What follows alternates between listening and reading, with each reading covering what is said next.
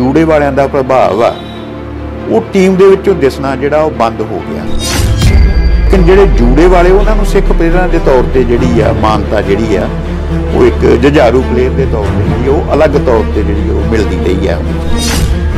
ਉਹ ਕਹਿੰਦੇ ਸਾਨੂੰ ਇਹ ਨਹੀਂ ਪਤਾ ਲੱਗ ਰਿਹਾ ਵੀ ਦੋਹਾਂ ਟੀਮਾਂ ਵਿੱਚੋਂ ਭਾਰਤੀ ਟੀਮ ਕਿਹੜੀ ਹੈ ਤੇ ਕੀਨੀਆ ਦੀ ਕਿਹੜੀ ਹੈ ਕੀਨੀਆ ਦੀ ਟੀਮ ਦੇ ਵਿੱਚ ਭਾਰਤੀ ਟੀਮ ਨਾਲੋਂ ਜ਼ਿਆਦਾ ਜੂੜੇ ਵਾਲੇ ਜਿਹੜੇ ਪਲੇਅਰ ਸੀ, ਉਹ ਸ਼ਿਰਕਤ ਕਰ ਰਹੇ ਸੀ। ਸੋ ਉਸ ਗੱਲ ਨੂੰ ਅਸੀਂ ਦੁਬਾਰਾ ਰਿਵਾਈਵ ਕਰਨ ਲਈ ਅਸੀਂ ਇਹ ਇੰਟਰਨੈਸ਼ਨਲ ਸਿੱਖ ਸਪੋਰਟਸ ਕਾਉਂਸਲ ਦਾ 30 ਮਈ 2015 ਨੂੰ ਅਸੀਂ ਐਨਜੀਓ ਦੇ ਤੌਰ ਤੇ ਗਠਨ ਕੀਤਾ ਸੀ।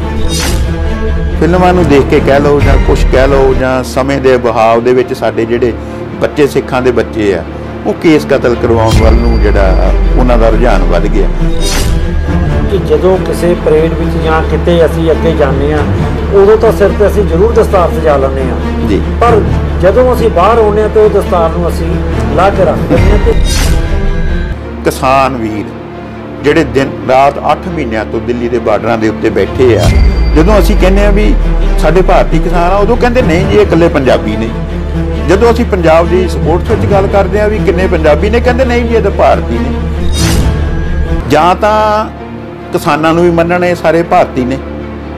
ਜਾਂ ਮੈਦਾਨ ਦੇ ਅੰਦਰ ਵੀ ਕਹਿਣ ਵੀ ਇਹ ਸਾਰੇ ਪਰ ਪਰ ਇੱਕ ਗੱਲ ਜ਼ਰੂਰ ਹੈ ਕਿ ਜਦੋਂ ਇਨਸਾਫ ਮੰਗਦੇ ਆ ਉਦੋਂ ਤਾਂ ਬਾਗੀ ਵੀ ਕਹਿ ਦਿੰਦੇ ਨੇ। ਤੇ ਪਰ ਜਦੋਂ ਇਹੀ ਬਾਰਡਰਾਂ ਤੇ ਜਾਂਦੇ ਨੇ ਜਾਂ ਅਸੀਂ ਕਿਸੇ ਵੀ ਖੇਡ ਦੇ ਵਿੱਚ ਜਾਂਦੇ ਨੇ ਅੰਤਰਰਾਸ਼ਟਰੀ ਪੱਧਰ ਤੇ ਜਾਂ ਕਿਤੇ ਵੀ ਜਾਂਦੇ ਨੇ ਤਾਂ ਉਦੋਂ ਇਹ ਭਾਰਤੀ ਵੀ ਕਹਿ ਦਿੰਦੇ ਨੇ। ਤੇ ਵਿੰਗੇ ਟੇਢੇ ਤੌਰ ਤਰੀਕਿਆਂ ਦੇ ਨਾਲ ਉਸ ਹੱਕ ਦੇ ਉੱਤੇ ਡਾਕਾ ਮਾਰਿਆ ਜਾਂਦਾ। ਉਹ ਅਸੀਂ ਫਿਰ ਉਹਨੂੰ ਕੰਪੈਰੀਜ਼ਨ ਕਰਕੇ ਵੇਖਦੇ ਹਾਂ ਵੀ ਅਸੀਂ ਆਪਣੇ ਦੇਸ਼ ਵਾਸਤੇ, ਭਾਰਤ ਵਾਸਤੇ ਇੰਨਾ ਕੁਝ ਕੀਤਾ, ਲੇਕਿਨ ਜਦੋਂ ਸਾਡੇ ਕੋਈ ਹੱਕਾਂ ਦੀ ਗੱਲ ਆਉਂਦੀ ਆ, ਤੇ ਉੱਥੇ ਸਾਨੂੰ ਕਦੇ ਇਨਸਾਫ ਜਿਹੜਾ ਆ, ਉਹ ਮਿਲਣ ਦੀ ਆਸ ਜਿਹੜੀ ਬਹੁਤ ਘੱਟ ਹੁੰਦੀ ਆ। ਆਵਾਜ਼ੇ ਕੌਮ ਟੀਵੀ ਦੇਖ ਰਹੇ ਸਾਰੇ ਦਰਸ਼ਕਾਂ ਨੂੰ, ਮੈਂ ਮੇਜਰ ਸਿੰਘ ਪੰਜਾਬੀ ਜੀ ਆਇਆਂ ਆਖਦਾ ਤੇ ਫਤਿਹ ਸਾਂਝੀ ਕਰਦਾ, ਵਾਹਿਗੁਰੂ ਜੀ ਕਾ ਖਾਲਸਾ, ਵਾਹਿਗੁਰੂ ਜੀ ਕੀ ਫਤਿਹ। ਜਿਵੇਂ ਕਿ ਅਸੀਂ ਹਮੇਸ਼ਾ ਹੀ ਦਰਸ਼ਕਾਂ ਨੂੰ ਦੇਖਦੇ ਹੋਏ ਦਰਸ਼ਕਾਂ ਦੀ ਸੋਚ ਨੂੰ ਦੇਖਦੇ ਹੋਏ ਅਸੀਂ ਰੋਜ਼ ਕੋਈ ਨਾ ਕੋਈ ਨਵੀਂ ਗੱਲ ਲੈ ਕੇ ਸਾਹਮਣੇ ਆਉਂਦੇ ਹਾਂ ਹਰ ਮੁੱਦੇ ਤੇ ਅਸੀਂ ਗੱਲ ਕਰਨ ਦੀ ਕੋਸ਼ਿਸ਼ ਕਰਦੇ ਹਾਂ ਸੋ ਅੱਜ ਅਸੀਂ ਗੱਲ ਕਰਾਂਗੇ ਜਾਪਾਨ ਦੇ ਵਿੱਚ ਹੋ ਰਹੀਆਂ 올림픽 ਖੇਡਾਂ ਦੀ ਜੋ ਕਿ ਟੋਕੀਓ ਦੇ ਵਿੱਚ ਇਹ 올림픽 ਖੇਡਾਂ ਹੋ ਰਹੀਆਂ ਨੇ ਉਹਦੇ ਵਿੱਚ ਭਾਰਤ ਦੀ ਟੀਮ ਵੀ ਹਾਕੀ ਦੀ ਗਈ ਹੋਈ ਹੈ ਜਿਹਦੇ ਉੱਪਰ ਸਾਰਿਆਂ ਦੀ ਨਜ਼ਰ ਟਿਕੀ ਹੋਈ ਹੈ ਖਾਸ ਕਰ ਇਹ ਗੱਲ ਜਿਹੜੀ ਹੈਗੀ ਹੈ ਸਭ ਨੂੰ ਸੋਚਣ ਲਈ ਮਜਬੂਰ ਕਰ ਦਿੰਦੀ ਹੈ। ਜਦੋਂ ਇੱਕ ਜੂੜੇ ਵਾਲਾ ਹਾਕੀ ਲੈ ਕੇ ਮੈਦਾਨ ਦੇ ਵਿੱਚ ਉਤਰਦਾ ਹੈ ਜਾਂ ਗੋਲ ਵੱਲ ਵੱਧਦਾ ਹੈ ਜਾਂ ਉਹ ਗੋਲ ਨੂੰ ਰੋਕਦਾ ਹੈ। ਸੋ ਇਸੇ ਤਰ੍ਹਾਂ ਦੀ ਅੱਜ ਇੱਕ ਅਸੀਂ ਅੰਤਰਰਾਸ਼ਟਰੀ ਸੰਸਥਾ ਦੇ ਵੱਲ ਬਾਰੇ ਗੱਲ ਕਰਾਂਗੇ, ਜਿਹਨੂੰ ਆਈਐਸਐਸਸੀ ਨਾਲ ਵੀ ਜਾਣਿਆ ਜਾਂਦਾ ਹੈ। ਜਿਹਦਾ ਪੂਰਾ ਨਾਮ ਬਣਦਾ ਹੈ ਇੰਟਰਨੈਸ਼ਨਲ ਸਿੱਖ ਸਪੋਰਟਸ ਕਾਉਂਸਲ ਤੇ ਅੱਜ ਅਸੀਂ ਗੱਲ ਕਰਾਂਗੇ ਇੰਟਰਨੈਸ਼ਨਲ ਸਿੱਖ ਸਪੋਰਟਸ ਕਾਉਂਸਲ ਦੇ ਪ੍ਰਧਾਨ ਜਸਵੀਰ ਸਿੰਘ ਜੀ ਨਾਲ, ਜਿਨ੍ਹਾਂ ਦੇ ਕੋਲ ਅਸੀਂ ਆਏ ਹੋਏ ਹਾਂ। ਤੇ ਮੇਰੇ ਪਿੱਛੇ ਤੁਸੀਂ ਜਿਹੜੀ ਹੈ ਕਿ ਇੱਕ ਟਰੋਫੀ ਦੇਖ ਸਕਦੇ ਹੋ, ਜਿਹੜੀ ਸੋਨੇ ਦੀ ਟਰੋਫੀ ਹੈ, ਜਿੱਤੀ ਹੋਈ ਹੈ। ਸੋ ਆਓ ਗੱਲ ਕਰਦੇ ਹਾਂ ਜਸਵੀਰ ਸਿੰਘ ਜੀ ਨਾਲ। ਜਸਵੀਰ ਸਿੰਘ ਜੀ, ਅਸੀਂ ਤੁਹਾਨੂੰ ਜੀ ਆਇਆਂ, ਆਖਦੇ ਹਾਂ ਤੁਹਾਡਾ ਬਹੁਤ ਬਹੁਤ ਧੰਨਵਾਦ ਕਰਦੇ ਹਾਂ ਕਿ ਤੁਸੀਂ ਸਾਨੂੰ ਜਿਹੜਾ ਕਿ ਇੱਕ ਆਪਣਾ ਕੀਮਤੀ ਸਮਾਂ ਦੇ ਕੇ ਅੱਜ ਇੰਟਰਨੈਸ਼ਨਲ ਸਿੱਖ ਸਪੋਰਟਸ ਕਾਉਂਸਲ ਬਾਰੇ ਜਾਣਕਾਰੀ ਦਿਓਗੇ। ਸੋ ਮੈਂ ਤੁਹਾਡੇ ਤੋਂ ਇਹ ਪੁੱਛਣਾ ਚਾਹੁੰਦਾ ਕਿ international international Sikh sports council ਕੀ ਹੈ, ਕਦੋਂ ਬਣੀ ਹੈ ਤੇ ਕਿਉਂ ਬਣਾਉਣ ਦੀ ਜ਼ਰੂਰਤ ਪਈ? ਵਾਹਿਗੁਰੂ ਜੀ ਕਾ ਖਾਲਸਾ, ਵਾਹਿਗੁਰੂ ਜੀ ਕੀ ਫਤਿਹ। ਮੈਂ ਆਵਾਜ਼ੇ ਕੌਮ ਤੇ ਉਹਨਾਂ ਦੇ ਦਰਸ਼ਕਾਂ ਦਾ ਤਹਿ ਦਿਲੋਂ ਰੇਣੀ ਆ ਵੀ ਜਿਹੜੇ ਇਸ ਇਵੈਂਟ ਨੂੰ ਟੋਕੀਓ ਦੇ ਇਵੈਂਟ ਨੂੰ ਦੇਖ ਰਹੇ ਆ ਔਰ ਤੁਸੀਂ ਆਵਾਜ਼ੇ ਕੌਮ ਵੱਲੋਂ ਮੇਰੇ ਵਿਚਾਰ ਲੈਣ ਲਈ ਤੁਸੀਂ ਆਏ ਹੋ ਤੁਹਾਡਾ ਵੀ ਧੰਨਵਾਦ ਅ, ਸਰਦਾਰ ਮੇਜਰ ਸਿੰਘ ਜੀ ਗੱਲ ਇਸ ਤਰ੍ਹਾਂ ਵੀ ਅਸੀਂ ਜੇ 올림픽 ਦੀ ਗੱਲ ਕਰੀਏ 올림픽 ਦੁਨੀਆ ਦਾ ਸਭ ਤੋਂ ਵੱਡਾ ਟੂਰਨਾਮੈਂਟ ਆ ਜਿਹਦੇ ਵਿੱਚ ਹਰੇਕ ਦੁਨੀਆ ਦੇ ਸਪੋਰਟਸ ਨੂੰ ਚਾਹਵਾਨ ਚਾਹਣ ਵਾਲਿਆਂ ਦੀ ਨਜ਼ਰ ਜਿਹੜੀ ਆ ਉਹ ਇੱਥੇ ਟਿਕੀ ਰਹਿੰਦੀ ਹਰ 4 ਸਾਲ ਬਾਅਦ ਆਉਂਦਾ ਇਹਦੇ ਵਿੱਚ ਭਾਰਤ ਵਾਸਤੇ ਖਾਸ ਤੌਰ ਦੇ ਉੱਤੇ ਸਭ ਤੋਂ ਵੱਡਾ ਇਵੈਂਟ ਜਿਹੜਾ ਆ ਉਹ ਹਾਕੀ ਦਾ ਰਿਹਾ ਆ ਕਿਉਂਕਿ ਅੱਜ ਤੱਕ ਇਤਿਹਾਸ ਦੇ ਵਿੱਚ ਜੇ ਝਾਤੀ ਮਾਰੀਏ ਤਾਂ ਭਾਰਤ ਨੇ 8 ਵਾਰੀ 올림픽 ਜਿਹੜੀ ਆ ਉਹ ਜਿੱਤਣ ਦਾ ਮਾਣ ਹਾਸਲ ਕੀਤਾ ਔਰ ਉਸ ਟਾਈਮ ਦੀਆਂ ਜਿਹੜੀਆਂ ਟੀਮਾਂ ਸੀ ਜਿਨ੍ਹਾਂ ਨੇ 올림픽 ਜਿੱਤੀ ਆ ਉਹਨਾਂ ਦੇ ਵਿੱਚ ਖਾਸ ਤੌਰ ਦੇ ਉੱਤੇ ਜਿਹੜੇ ਜੂੜੇ ਵਾਲੇ ਸਿੱਖ ਸਰਦਾਰ ਪਲੇਅਰ ਨੇ, ਉਹਨਾਂ ਦਾ ਹਮੇਸ਼ਾ ਹੀ ਬੋਲਬਾਲਾ ਜਿਹੜਾ ਉਹ ਰਿਹਾ ਆ। ਤੇ ਵਕਤ ਦੇ ਨਾਲ ਦੇ ਨਾਲ ਇਹ ਕਹ ਲਓ ਵੀ ਕੁਝ ਊਂਤਾਈਆਂ ਕਰਕੇ ਉਹ ਜਿਹੜਾ ਜੂੜੇ ਵਾਲਿਆਂ ਦਾ ਪ੍ਰਭਾਵ ਆ, ਉਹ ਟੀਮ ਦੇ ਵਿੱਚੋਂ ਦਿਸਣਾ ਜਿਹੜਾ ਉਹ ਬੰਦ ਹੋ ਗਿਆ। ਇਹ ਨਹੀਂ ਵੀ ਪੰਜਾਬ ਦੇ ਲੋਕਾਂ ਨੇ ਹਾਕੀ ਖੇਲਣੀ ਛੱਡ ਦਿੱਤੀ ਆ ਜਾਂ ਜੂੜੇ ਵਾਲਿਆਂ ਨੇ ਖੇਡਣੀ ਛੱਡ ਦਿੱਤੀ ਆ। ਖੇਡਦੇ ਨੇ ਲੇਕਿਨ ਉਹਨਾਂ ਉਹ ਆਪਣੇ ਕੇਸ ਜਿਹੜੇ ਆ ਕਤਲ ਕਰਵਾ ਕੇ ਖੇਡਣ ਲੱਗ ਜਾਂਦੇ ਨੇ ਲੇ- ਉਹਨਾਂ ਨੂੰ ਬਤੌਰ ਪੰਜਾਬੀ ਤਾਂ ਲੋਕੀ ਜਾਣਦੇ ਨੇ ਵੀ ਇਹ ਪੰਜਾਬ ਦੇ ਪਲੇਅਰ ਇਸ ਵਾਰੀ ਟੀਮ ਦੇ ਵਿੱਚ ਇੰਨੇ ਆ ਲੇਕਿਨ ਜਿਹੜੇ ਜੂੜੇ ਵਾਲੇ ਉਹਨਾਂ ਨੂੰ ਸਿੱਖ ਪਲੇਅਰਾਂ ਦੇ ਤੌਰ ਤੇ ਜਿਹੜੀ ਆ ਮਾਨਤਾ ਜਿਹੜੀ ਆ ਉਹ ਇੱਕ ਜੁਝਾਰੂ ਪਲੇਅਰ ਦੇ ਤੌਰ ਤੇ ਜਿਹੜੀ ਉਹ ਅਲੱਗ ਤੌਰ ਤੇ ਜਿਹੜੀ ਉਹ ਮਿਲਦੀ ਰਹੀ ਆ ਹਮੇਸ਼ਾ ਹੀ ਅੱਜ ਵੀ ਟੋਕੀਓ ਟੋਕੀਓ 올림픽 ਦੇ ਵਿੱਚ ਜਿਹੜਾ 16 ਖਿਡਾਰੀਆਂ ਦਾ ਹਾਕੀ ਦਾ ਦਲ ਗਿਆ ਆ ਉਹਦੇ ਵਿੱਚ 11 ਖਿਡਾਰੀ ਨੇ ਜਿਹੜੇ ਉਹ ਇਕੱਲੇ ਪੰਜਾਬ ਦੇ ਉੱਤ- ਵਿੱਚੋਂ ਇੰਡੀਆ ਨੂੰ ਲੀਡ ਕਰ ਰਹੇ ਨੇ ਔਰ ਉਹਨਾਂ ਵਿੱਚੋਂ ਵੀ ਜਿਹੜੇ ਪੰਜ ਪਲੇਅਰ ਨੇ ਉਹ ਮਾਝੇ ਤੋਂ ਨੇ ਤੇ ਜ਼ਿਆਦਾ ਤੌਰ ਤੇ ਦੁਆਬੇ ਵਿੱਚੋਂ ਵੀ ਨੇ ਔਰ ਸੰਸਾਰਪੁਰ ਮਿੱਠਾਪੁਰ ਖੁਸਰੋਪੁਰ ਇਹ ਜਲੰਧਰ ਕੈਂਟ ਦੇ ਨਾਲ ਤਿੰਨ ਅਜਿਹੇ ਪਿੰਡ ਪੈਂਦੇ ਨੇ ਜਿੱਥੇ 올림픽 ਨੂੰ ਜਿਨ੍ਹਾਂ ਨੇ ਬਹੁਤ ਵੱਡੀ ਦੇਣ ਦਿੱਤੀ ਆ ਇੱਕ ਵਕਤ ਸੀ ਜਦੋਂ ਸੰਸਾਰਪੁਰ ਦੀ ਇੱਕ ਗਲੀ ਦੇ ਸੱਤ ਸਿੱਖ ਪਲੇਅਰ 올림픽 ਦੇ ਵਿੱਚ ਉਤਰੇ ਸੀ ਬੜਾ ਵੱਡਾ ਸਿੱਖ ਕੌਮ ਵਾਸਤੇ ਮਾਣ ਦਾ ਸਮਾਂ ਹੁੰਦਾ ਹੈ ਉਹ ਅੱਜ ਵੀ ਤੁਸੀਂ ਟੋਕੀਓ 올림픽 ਦੇ ਵਿੱਚ ਜੇ ਅਸੀਂ ਝਾਤੀ ਮਾਰੀਏ ਜਦੋਂ ਡੀ ਦੇ ਵਿੱਚ ਤੁਹਾਨੂੰ ਗੋਲ ਕਰਨ ਤੋਂ ਬਾਅਦ 4-5 ਬੰਦੇ ਜੂੜੇ ਵਾਲੇ ਨਜ਼ਰ ਆਉਂਦੇ ਆ ਤਾਂ ਉਹਨਾਂ ਦਾ ਪ੍ਰਭਾਵ ਇੱਕ ਅਲੱਗ ਹੁੰਦਾ ਜਿਹੜੀ ਵਿਰੋਧੀ ਟੀਮ ਆ ਉਹ ਜੂੜੇ ਵਾਲੇ ਹਾਕੀ ਦੇ ਪਲੇਅਰਾਂ ਨੂੰ ਦੇਖ ਕੇ ਅੱਧੇ ਹੌਸਲੇ ਉਹਨਾਂ ਦੇ ਵੈਸੇ ਵੀ ਪਸਤ ਜਿਹੜੇ ਹੋਣੇ ਸ਼ੁਰੂ ਹੋ ਜਾਂਦੇ ਆ। ਸੋ ਉਹ ਜਿਹੜਾ ਪ੍ਰਭਾਵ ਅੱਜ ਕੱਲ ਹੁਣ ਭਾਰਤੀ ਦਲ ਦੇ ਹਾਕੀ ਆ, ਉਹਦਾ ਝੰਡਾ ਬਰਦਾਰ ਵੀ ਜਿਹੜਾ ਸੀ ਟੋਕੀਓ ਦੇ ਵਿੱਚ, ਮਾਰਚ ਪਾਸਟ ਦੇ ਵਿੱਚ ਮਨਪ੍ਰੀਤ ਸਿੰਘ ਕੋਰੀਅਨ, ਜਿਹੜੇ ਹਾਕੀ ਦੇ ਕਪਤਾਨ ਵੀ ਨੇ। ਉਹਨਾਂ ਨੇ ਇੱਕ ਗੱਲ ਮੈਂ ਉਹਨਾਂ ਨੂੰ ਸ਼ਾਬਾਸ਼ ਦਿੰਨਾ ਆ ਤੇ ਮਾਣ ਵੀ ਮਹਿਸੂਸ ਕਰਦਾ। ਵੀ ਉਹਨਾਂ ਨੇ ਕੇਸ ਕਤਲ ਕਰਾਏ ਹੋਣ ਦੇ ਬਾਵਜੂਦ ਵੀ ਆਪਣੀ ਕੌਮ ਦਾ ਸਿਰ ਜਿਹੜਾ ਆ, ਉਹ ਦਸਤਾਰ ਬੰਨ ਕੇ ਮਾਰਚ ਪਾਸਟ ਝੰਡਾ ਬਰਦਾਰ ਬਣ ਕੇ ਸਿੱਖ ਕੌਮ ਦਾ ਮਾਣ ਵਧਾਇਆ। ਲੇਕਿਨ ਅਸੀਂ ਮਹਿਸੂਸ ਕੀਤਾ ਸੀ ਵੀ ਜਿਹੜੀ ਇਹ 8-8 9-9 ਜੂੜੇ ਵਾਲੇ ਪਲੇਅਰਾਂ ਦੀ ਭਾਰਤੀ ਹਾਕੀ ਟੀਮ ਸੀ, ਇਹਨੂੰ ਅਸੀਂ ਦੁਬਾਰਾ ਰਿਵਾਈਵ ਕਰਨ ਦੀ ਕੋਸ਼ਿਸ਼ ਕਰੀਏ ਵੀ ਜਿਹੜੇ ਸਾਡੇ ਬੱਚੇ ਆ, ਉਹ ਪਤਿਤ ਹੋ ਕੇ ਨਾ ਖੇਡਣ, ਦੁਬਾਰਾ ਜੂੜੇ ਵਾਲੇ ਜਿਹੜੇ ਪਲੇਅਰ ਆ ਉਹ ਖੇਡ ਮੈਦਾਨ ਦੇ ਅੰਦਰ ਨਜ਼ਰ ਆਉਣ। ਹਾਲਾਂਕਿ ਇਹ ਨਹੀਂ ਵੀ ਇਕੱਲੇ ਭਾਰਤ ਵਿੱਚ ਹੀ ਜੂੜੇ ਵਾਲਿਆਂ ਨੇ ਆਪਣਾ ਤਹਿਲਕਾ ਮਚਾਇਆ। ਇਹਨਾਂ ਨੇ ਕੀਨੀਆ, ਯੁਗਾਂਡਾ, ਮਲੇਸ਼ੀਆ 18 ਕੰਟਰੀ ਆ ਜਿਨ੍ਹਾਂ ਦੇ ਵਿੱਚ ਜੂੜੇ ਵਾਲੇ ਪਲੇਅਰਾਂ ਨੇ ਆਪਣੇ ਆਪਣੇ ਕੰਟਰੀਆਂ ਵੱਲੋਂ 18 ਕੰਟਰੀਆਂ ਵੱਲੋਂ ਸ਼ਿਰਕਤ ਕਰਕੇ ਆਪਣੀ ਧਾਕ ਜਮਾਈ ਹੈ ਇੱਕ ਵਕਤ ਸੀ ਜਦੋਂ ਪੰਡਤ ਜਵਾਹਰ ਲਾਲ ਨਹਿਰੂ ਫਾਈਨਲ ਮੈਚ ਦੇਖ ਰਹੇ ਸੀ ਹਾਕੀ ਦਾ।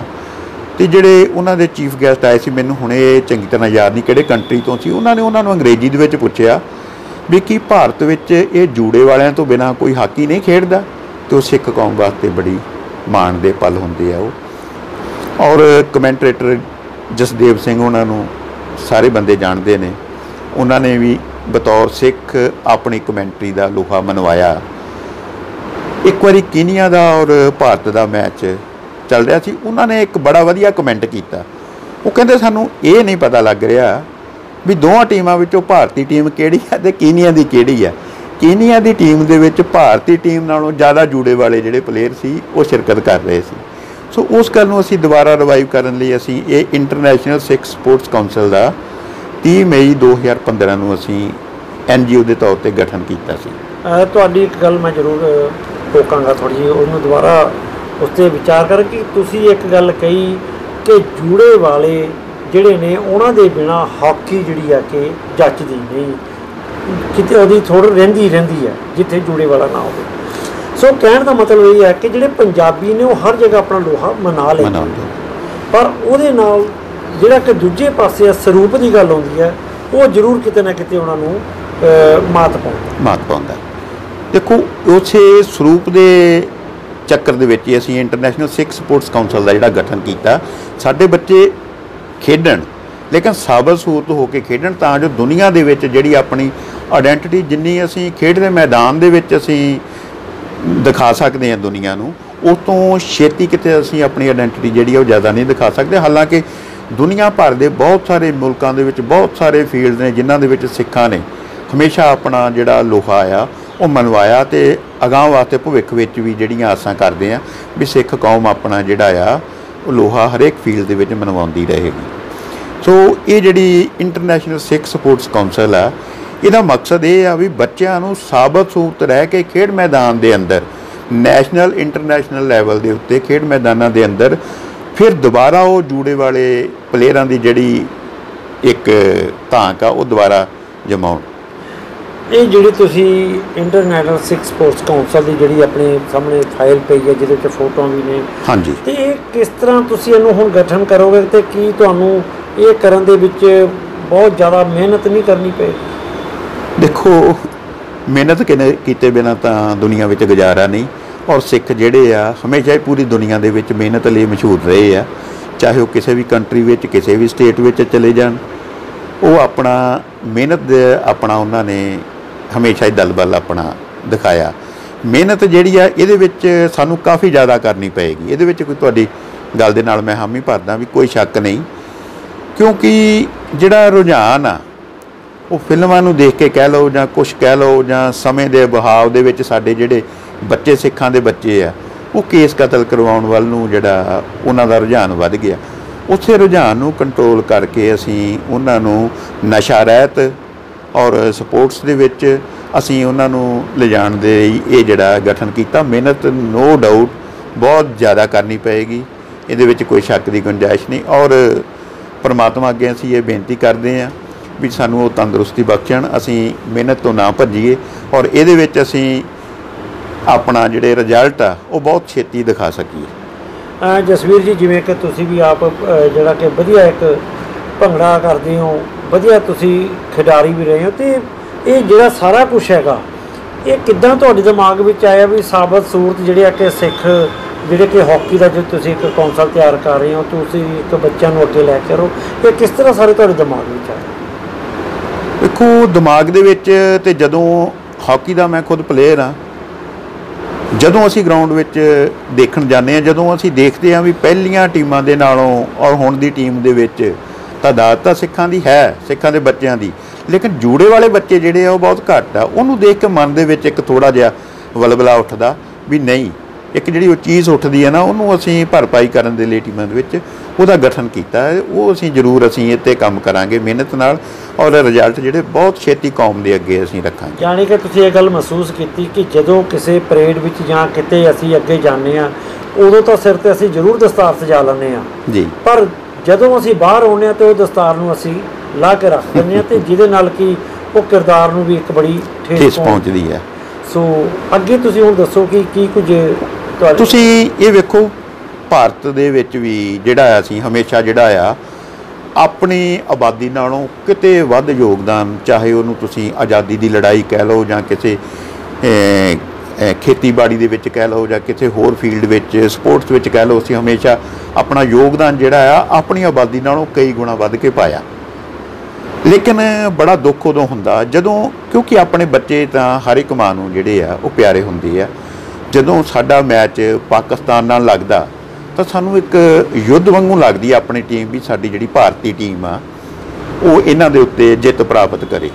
ਲੇਕਿਨ ਜਦੋਂ ਅਸੀਂ ਆਪਣੇ ਸਿੱਖਾਂ ਦੇ ਬੱਚਿਆਂ ਵੱਲ ਧਿਆਨ ਮਾਰਦੇ ਜਿਵੇਂ ਟੋਕੀਓ 올림픽 ਦੇ ਵਿੱਚ ਸਾਡੇ ਸਿੱਖ ਬੱਚੇ ਜੂੜਿਆਂ ਵਾਲੇ ਨੇ ਪਟਕਿਆਂ ਵਾਲੇ ਨੇ ਕੁਝ ਦੂਸਰੇ ਵੀ ਨੇ ਜਦੋਂ ਅਸੀਂ ਕਹਿੰਨੇ ਵੀ ਸਾਡੇ ਸਿੱਖ ਬੱਚਿਆਂ ਨੇ ਕਮਾਲ ਕਰ ਦਿੱਤੀ ਇਸ ਵਾਰੀ ਤਾਂ ਸਾਨੂੰ ਇਹ ਸੁਣਨ ਨੂੰ ਮਿਲਦਾ ਵੀ ਨਹੀਂ ਇਹ ਤਾਂ ਭਾਰਤੀ ਟੀਮ ਆ ਇਹਨੂੰ ਇਦਾਂ ਜਿਹੜਾ ਡਿਫਰੈਂਸ਼ੀਏਟ ਨਹੀਂ ਕਰਨਾ ਚਾਹੀਦਾ ਇਹ ਭਾਰਤੀ ਟੀਮ ਆ ਠੀਕ ਆ ਮੰਨਦੇ ਆ ਭਾਰਤੀ ਟੀਮ ਆ ਅਸੀਂ ਕਹਿੰਨੇ ਭਾਰਤੀ ਟੀਮ ਆ ਲੇਕਿਨ ਇਹ ਜਿਹੜੀ ਡੈਫੀਨੇਸ਼ਨ ਆ, ਉਸ ਵੇਲੇ ਕਿਉਂ ਬਦਲ ਦਿੱਤੀ ਜਾਂਦੀ? ਬੜਾ ਦੁੱਖ ਹੁੰਦਾ ਜਦੋਂ ਸਾਡੇ ਕਿਸਾਨ ਵੀਰ, ਜਿਹੜੇ ਦਿਨ ਰਾਤ 8 ਮਹੀਨਿਆਂ ਤੋਂ ਦਿੱਲੀ ਦੇ ਬਾਰਡਰਾਂ ਦੇ ਉੱਤੇ ਬੈਠੇ ਆ, ਜਦੋਂ ਅਸੀਂ ਕਹਿੰਦੇ ਆ ਵੀ ਸਾਡੇ ਭਾਰਤੀ ਕਿਸਾਨ ਆ, ਉਦੋਂ ਕਹਿੰਦੇ, ਨਹੀਂ ਜੀ, ਇਹ ਇਕੱਲੇ ਪੰਜਾਬੀ ਨੇ।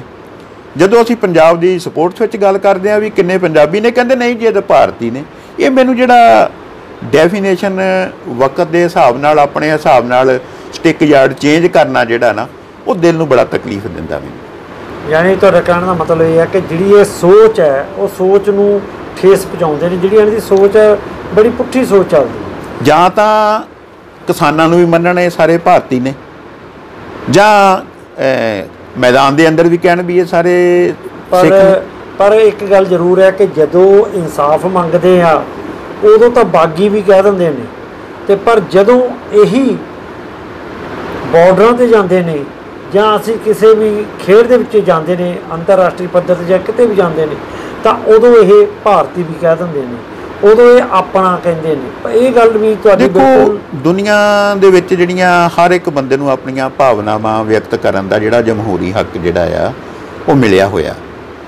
ਲੇਕਿਨ ਉਹਨੂੰ ਜਦੋਂ ਕਿਸੇ ਵਿੰਗੇ ਟੇਢੇ ਤੌਰ ਤਰੀਕਿਆਂ ਦੇ ਨਾਲ ਉਸ ਹੱਕ ਦੇ ਉੱਤੇ ਡਾਕਾ ਮਾਰਿਆ ਜਾਂਦਾ ਉਹ ਅਸੀਂ ਫਿਰ ਉਹਨੂੰ ਕੰਪੈਰੀਜ਼ਨ ਕਰਕੇ ਵੇਖਦੇ ਹਾਂ ਵੀ ਅਸੀਂ ਆਪਣੇ ਦੇਸ਼ ਵਾਸਤੇ, ਭਾਰਤ ਵਾਸਤੇ ਇੰਨਾ ਕੁਝ ਕੀਤਾ, ਲੇਕਿਨ ਜਦੋਂ ਸਾਡੇ ਕੋਈ ਹੱਕਾਂ ਦੀ ਗੱਲ ਆਉਂਦੀ ਆ ਤੇ ਉੱਥੇ ਸਾਨੂੰ ਕਦੇ ਇਨਸਾਫ ਜਿਹੜਾ ਆ, ਉਹ ਮਿਲਣ ਦੀ ਆਸ ਜਿਹੜੀ ਬਹੁਤ ਘੱਟ ਹੁੰਦੀ ਆ ਜਿਵੇਂ ਜਦ ਇੱਕ ਮੈਂ 2 ਦਿਨ ਪਹਿਲਾਂ ਇੱਕ ਸੋਸ਼ਲ ਮੀਡੀਆ ਦੇ ਉੱਤੇ, ਸੋਸ਼ਲ ਮੀਡੀਆ ਦਾ ਜ਼ਮਾਨਾ, ਇੱਕ ਕਿਸੇ ਨੇ ਕਮੈਂਟ ਕੀਤਾ ਸੀ ਤੇ ਮੈਨੂੰ ਉਹਦਾ ਕਮੈਂਟ ਮੇਰੇ ਦਿਲ ਨੂੰ ਵੀ ਲੱਗਿਆ ਵੀ ਕਿਸੇ ਨਾ ਕਿਸੇ ਹੱਕ ਤੇ ਬੰਦੇ ਕਿੰਨੇ ਦੁਖੀ ਨੇ। ਉਹਨਾਂ ਨੇ ਚਾਰ ਮੁੰਡੇ ਆਪਣੇ ਸਿਮਰਨਜੀਤ ਮਨਦੀਪ ਇਹ ਚਾਰ ਜਣੇ ਡੀ ਦੇ ਵਿੱਚ ਪ੍ਰਵੇਸ਼ ਕਰਕੇ ਗੋਲ ਕਰਨ ਤੋਂ ਬਾਅਦ ਖੁਸ਼ੀ ਸਾਂਝੀ ਕਰ ਰਹੇ ਸੀ। ਤਾਂ ਕਿਸੇ ਨੇ ਲਿਖਿਆ ਵੀ ਭਾਰਤ ਵੱਲੋਂ ਅੱਤਵਾਦੀਆਂ ਦੁਆਰਾ ਕੀਤਾ ਗਿਆ ਗੋਲ ਤੇ ਖੁਸ਼ੀ ਸਾਂਝੀ ਕਰਦੇ ਹੋਏ ਅੱਤਵਾਦੀ। ਇਹ ਘਟੀਆ ਸੋਚ ਹੈ ਜਿਹੜਾ ਕਿ ਪ੍ਰਤੀਕ ਮਤਲਬ ਉਹਨਾਂ ਦੀਆਂ ਭਾਵਨਾ ਦੇਖੋ ਉਹ ਇਸ ਗੱਲ ਤੋਂ ਦੁਖੀ ਆ ਵੀ ਕਦੇ ਤਾਂ ਸਾਨੂੰ ਇਹ ਖੇਡ ਦੇ ਮੈਦਾਨ ਤੋਂ ਬਾਹਰ ਹੁੰਨੇ ਆ। ਤਾਂ ਸਾਨੂੰ ਕਿਸਾਨ ਜਦੋਂ ਅਸੀਂ ਆਪਣਾ ਹੱਕ ਮੰਗਦੇ ਆ ਇਹ ਅੱਤਵਾਦੀ ਕਹਿ ਦਿੰਦੇ ਆ। ਅੱਜ ਗਰਾਊਂਡ ਦੇ ਵਿੱਚ ਉਹਨਾਂ ਨੂੰ ਬੜਾ ਮਾਣ ਸਤਿਕਾਰ ਦੇ ਰਹੇ ਆ। ਦੋਗਲੀ ਨੀਤੀ ਦੋਗਲੀ ਨੀਤੀ ਦੋਗਲੀ ਨੀਤੀ ਜਿਹੜੀ ਆ ਇਹ ਕਿਸੇ ਵੀ ਦੇਸ਼ ਵਾਸਤੇ ਬੜੀ ਘਾਤਕ ਹੁੰਦੀ ਆ। ਸੋ ਇਹ ਜਿਹੜੇ ਰਾਜਸੀ ਤੌਰ ਤੇ ਇਹਨਾਂ ਚੀਜ਼ਾਂ ਦਾ ਫਾਇਦਾ ਉਠਾਉਂਦੇ ਆ ਸਾਨੂੰ ਉਹਨਾਂ ਲੋਕਾਂ ਤੋਂ ਥੋੜਾ ਸੁਚੇਤ ਹੋਣ ਦੀ ਜ਼ਰੂਰਤ ਆ ਵੀ ਕੌਮ ਦਾ ਜਿਹੜਾ ਪਿਆਰ ਆ ਉਹ ਦੇਸ਼ ਨਾਲ ਬਣਿਆ ਰਵੇ। ਲੇਕਿਨ ਜਦੋਂ ਅਸੀਂ ਕੋਈ ਕਿਸੇ ਦਾ ਹੱਕ ਦੇਣ ਦੀ ਵਾਰੀ ਜਾਂ ਕਿਸੇ ਨੂੰ ਕੌਮ ਨੂੰ ਇਨਸਾਫ ਦੇਣ ਦੀ ਵਾਰੀ, ਜਦੋਂ ਅਸੀਂ ਉਹਦੇ ਵਿੱਚ ਕੋਈ ਆਨਾਕਾਨੀ ਕਰਾਂਗੇ, ਤਾਂ ਉਹ ਬਟ ਨੈਚੁਰਲ ਆ ਵੀ ਜਿਹੜਾ ਰੋਹ ਜਿਹੜਾ ਆ ਕੌਮ ਦੇ ਅੰਦਰ ਜਿਹੜਾ ਉਹ ਪੈਦਾ ਹੋਣਾ ਹੁੰਦਾ ਔਰ ਇਸ ਰੋਹ ਨੂੰ ਸ਼ਾਂਤ ਜਿਹੜਾ ਆ, ਉਹ ਕਾਨੂੰਨ ਔਰ ਕਾਨੂੰਨ ਦੇ ਰਖਵਾਲੇ ਔਰ ਰਾਜਸੀ ਨੇਤਾ ਜਿਹੜੇ ਸਾਡੇ ਨੇ, ਉਹ ਇਹਨਾਂ ਨੂੰ ਦੂਰ ਕਰ ਸਕਦੇ ਜੇ ਉਹ ਦਿਲ ਤੋਂ ਚਾਹਣ ਤਾਂ। ਤੇ ਜਿਹੜਾ ਕਿ ਹੁਣ ਤੁਸੀਂ ਜਿਹੜਾ ਇੰਟਰਨੈਸ਼ਨਲ ਸਿੱਖ ਸਪੋਰਟਸ ਕਾਉਂਸਲ ਹੈ, ਉਹ ਕੀ ਕੁਝ ਨਵਾਂ ਕਰ ਰਹੀ ਹੈ? ਕੋ ਕਿਸ ਤਰ੍ਹਾਂ ਇਹ ਨੂੰ ਜਾਣੀ ਕਿ ਇੱਕ ਆਪਣਾ ਜਿਹੜਾ ਮਿਸ਼ਨ ਹੈਗਾ, ਉਹਨੂੰ ਪੂਰਾ ਕਰੇਗੀ ਤੇ ਮੇਨ ਮਿਸ਼ਨ ਦੇ ਵਿੱਚ ਜਿਹੜੀਆਂ ਤਕਲੀਫਾਂ ਨੇ ਹੁਣ ਤੱਕ ਆਈਆਂ, ਉਹਨਾਂ ਦਾ ਜ਼ਿਕਰ ਵੀ ਤੁਸੀਂ ਜ਼ਰੂਰ ਕਰੋ। ਮੇਜਰ ਸਿੰਘ ਜੀ, ਗੱਲ ਇਸ ਤਰ੍ਹਾਂ ਵੀ ਅਸੀਂ ਇਹ ਜਿਹੜਾ ਆਪਣਾ ਜਿਹੜਾ ਇਹਦਾ ਟਾਰਗੇਟ ਅਸੀਂ ਰੱਖਿਆ, ਉਹ ਬੜੇ ਵੱਡੇ ਕੈਨਵਸ ਦੇ ਉੱਤੇ ਅਸੀਂ ਇਹਨੂੰ ਉਲੀਕ ਚੁੱਕੇ ਆ ਜਿਹਦੇ ਨਾਂ ਤੋਂ ਹੀ ਦੇਖੋ ਇੰਟਰਨੈਸ਼ਨਲ ਸਿੱਖ ਸਪੋਰਟਸ ਕਾਉਂਸਲ ਬਿਲਕੁਲ। ਇਹਨੂੰ ਅਸੀਂ ਇੰਟਰਨੈਸ਼ਨਲ ਲੈਵਲ ਦੇ ਉੱਤੇ ਸਿੱਖ ਸਾਬਤ ਸੂਰਤ ਬੱਚਿਆਂ ਦੀ ਨੂੰ ਸਪੋਰਟਸ ਦੇ ਵਿੱਚ ਪ੍ਰਮੋਟ ਕਰਨ ਵਾਸਤੇ ਇਹ ਜ਼ਰੂਰੀ ਨਹੀਂ ਵੀ ਸਿੱਖ ਹਾਕੀ ਖੇਡੇ। ਮੈਂ ਹਾਕੀ ਦਾ ਪਲੇਅਰ ਆ ਜ਼ਰੂਰੀ ਨਹੀਂ ਮੇਰਾ ਬੱਚਾ ਹਾਕੀ ਖੇਡੂਗਾ ਉਹ ਬਾਸਕਟਬਾਲ ਵੀ ਖੇਡ ਸਕਦਾ। ਲੇਕਿਨ ਉਹ ਕੋਈ ਵੀ ਗੇਮ ਖੇਡੇ ਸਾਬਤ ਸੂਰਤ ਰਹਿ ਕੇ ਖੇਡੇ ਤੁਹਾਨੂੰ ਸਿੱਖਾਂ ਦੀ ਜਿਹੜੀ ਆਇਡੈਂਟੀਟੀ ਆ ਉਹ ਮੈਂ ਖੇਡ ਦੇ ਮੈਦਾਨ ਅੰਦਰ ਦੁਬਾਰਾ ਜਿਹੜੀ ਬਣੀ ਰਵੇ। ਇਸ ਆਸ਼ਾ ਨੂੰ ਲੈ ਕੇ ਅਸੀਂ ਇਹਦਾ ਨਾਂ ਇਸ ਕਰਕੇ ਸਪੋਰਟਸ ਵਰਤਿਆ ਨਾ ਕਿ ਹਾਕੀ ਵਰਤਿਆ। ਇਹਦੇ ਵਿੱਚ ਅਸੀਂ ਸਾਬਤ ਸੂਰਤ ਸਿੱਖਾਂ ਦਾ ਸਭ ਤੋਂ ਪਹਿਲਾਂ ਇੱਕ ਤਜਰਬੇ ਦੇ ਤੌਰ ਤੇ ਬਹੁਤ ਸਾਰੇ ਬੰਦਿਆਂ ਨੇ ਡਿਮੋਰਲਾਈਜ਼ ਕੀਤਾ ਵੀ ਇਹ ਤਾਂ ਟੀਮ ਵਿੱਚ ਦੋ ਨਿਆਣੇ ਨਹੀਂ ਜੂੜੇ ਵਾਲੇ ਲੱਭਦੇ ਤੁਸੀਂ ਪੂਰਾ ਟੂਰਨਾਮੈਂਟ ਕਿੱਥੋਂ ਕਰਵਾ ਲਓਗੇ।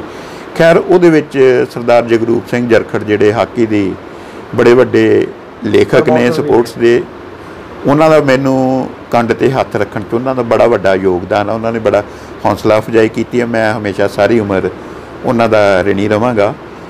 ਉਹਨਾਂ ਨੇ ਮੈਨੂੰ ਹੱਲਾਸ਼ੇਰੀ ਦੇ ਕੇ ਤੇ ਅਸੀਂ ਪਹਿਲਾ ਟੂਰਨਾਮੈਂਟ ਸਿੱਖ ਸਾਈਡ ਜਰਖੜ ਦੇ ਵਿੱਚ ਹੀ ਉਹਨਾਂ ਦੀ ਕਮਾਨ ਹੇਠ ਹੀ ਕਰਵਾਇਆ ਸੀ, ਜਿਹਦੇ ਵਿੱਚ ਅਸੀਂ ਪੂਰਨ ਤੌਰ ਤੇ ਕਾਮਯਾਬ ਰਹੇ ਸੀ।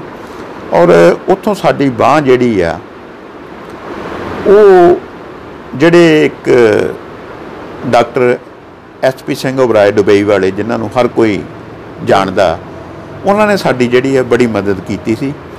ਔਰ ਉਹਨਾਂ ਨੇ ਕਿਹਾ ਸੀ ਵੀ ਜੇ ਤੁਸੀਂ ਇਹ ਆਪਣਾ ਆਸ਼ਾ ਨੂੰ ਲੈ ਕੇ ਲਗਾਤਾਰ ਜਾਰੀ ਰੱਖਦੇ ਹੋ, ਤਾਂ ਮੈਂ ਤੁਹਾਡੀ ਹਮੇਸ਼ਾ ਤੁਹਾਡੇ ਨਾਲ ਜਿਹੜਾ ਆ ਖੜਾ ਆ। ਮੈਂ ਉਹਨਾਂ ਦਾ ਵੀ ਤਹਿ ਦਿਲੋਂ ਰਿਣੀ ਆ ਵੀ ਉਹਨਾਂ ਦੇ ਹੌਸਲੇ ਨਾਲ ਜਗਦੂਪ ਸਿੰਘ ਉਹਨਾਂ ਦੇ ਹੌਸਲੇ ਦੇ ਨਾਲ ਅਸੀਂ ਜਿਹੜੀ ਇਹ ਉਡਾਨ ਭਰੀ ਆ, ਅਸੀਂ ਕਿਸ ਦਿਨ ਅਸਮਾਨ ਦੀਆਂ ਬੁਲੰਦੀਆਂ ਤੇ ਛੇਤੀ ਨਜ਼ਰ ਆਵਾਂਗੇ, ਸਾਬਤ ਸੂਰਤ ਸਿੱਖ ਪਲੇਅਰਾਂ ਨੂੰ ਲੈ ਕੇ।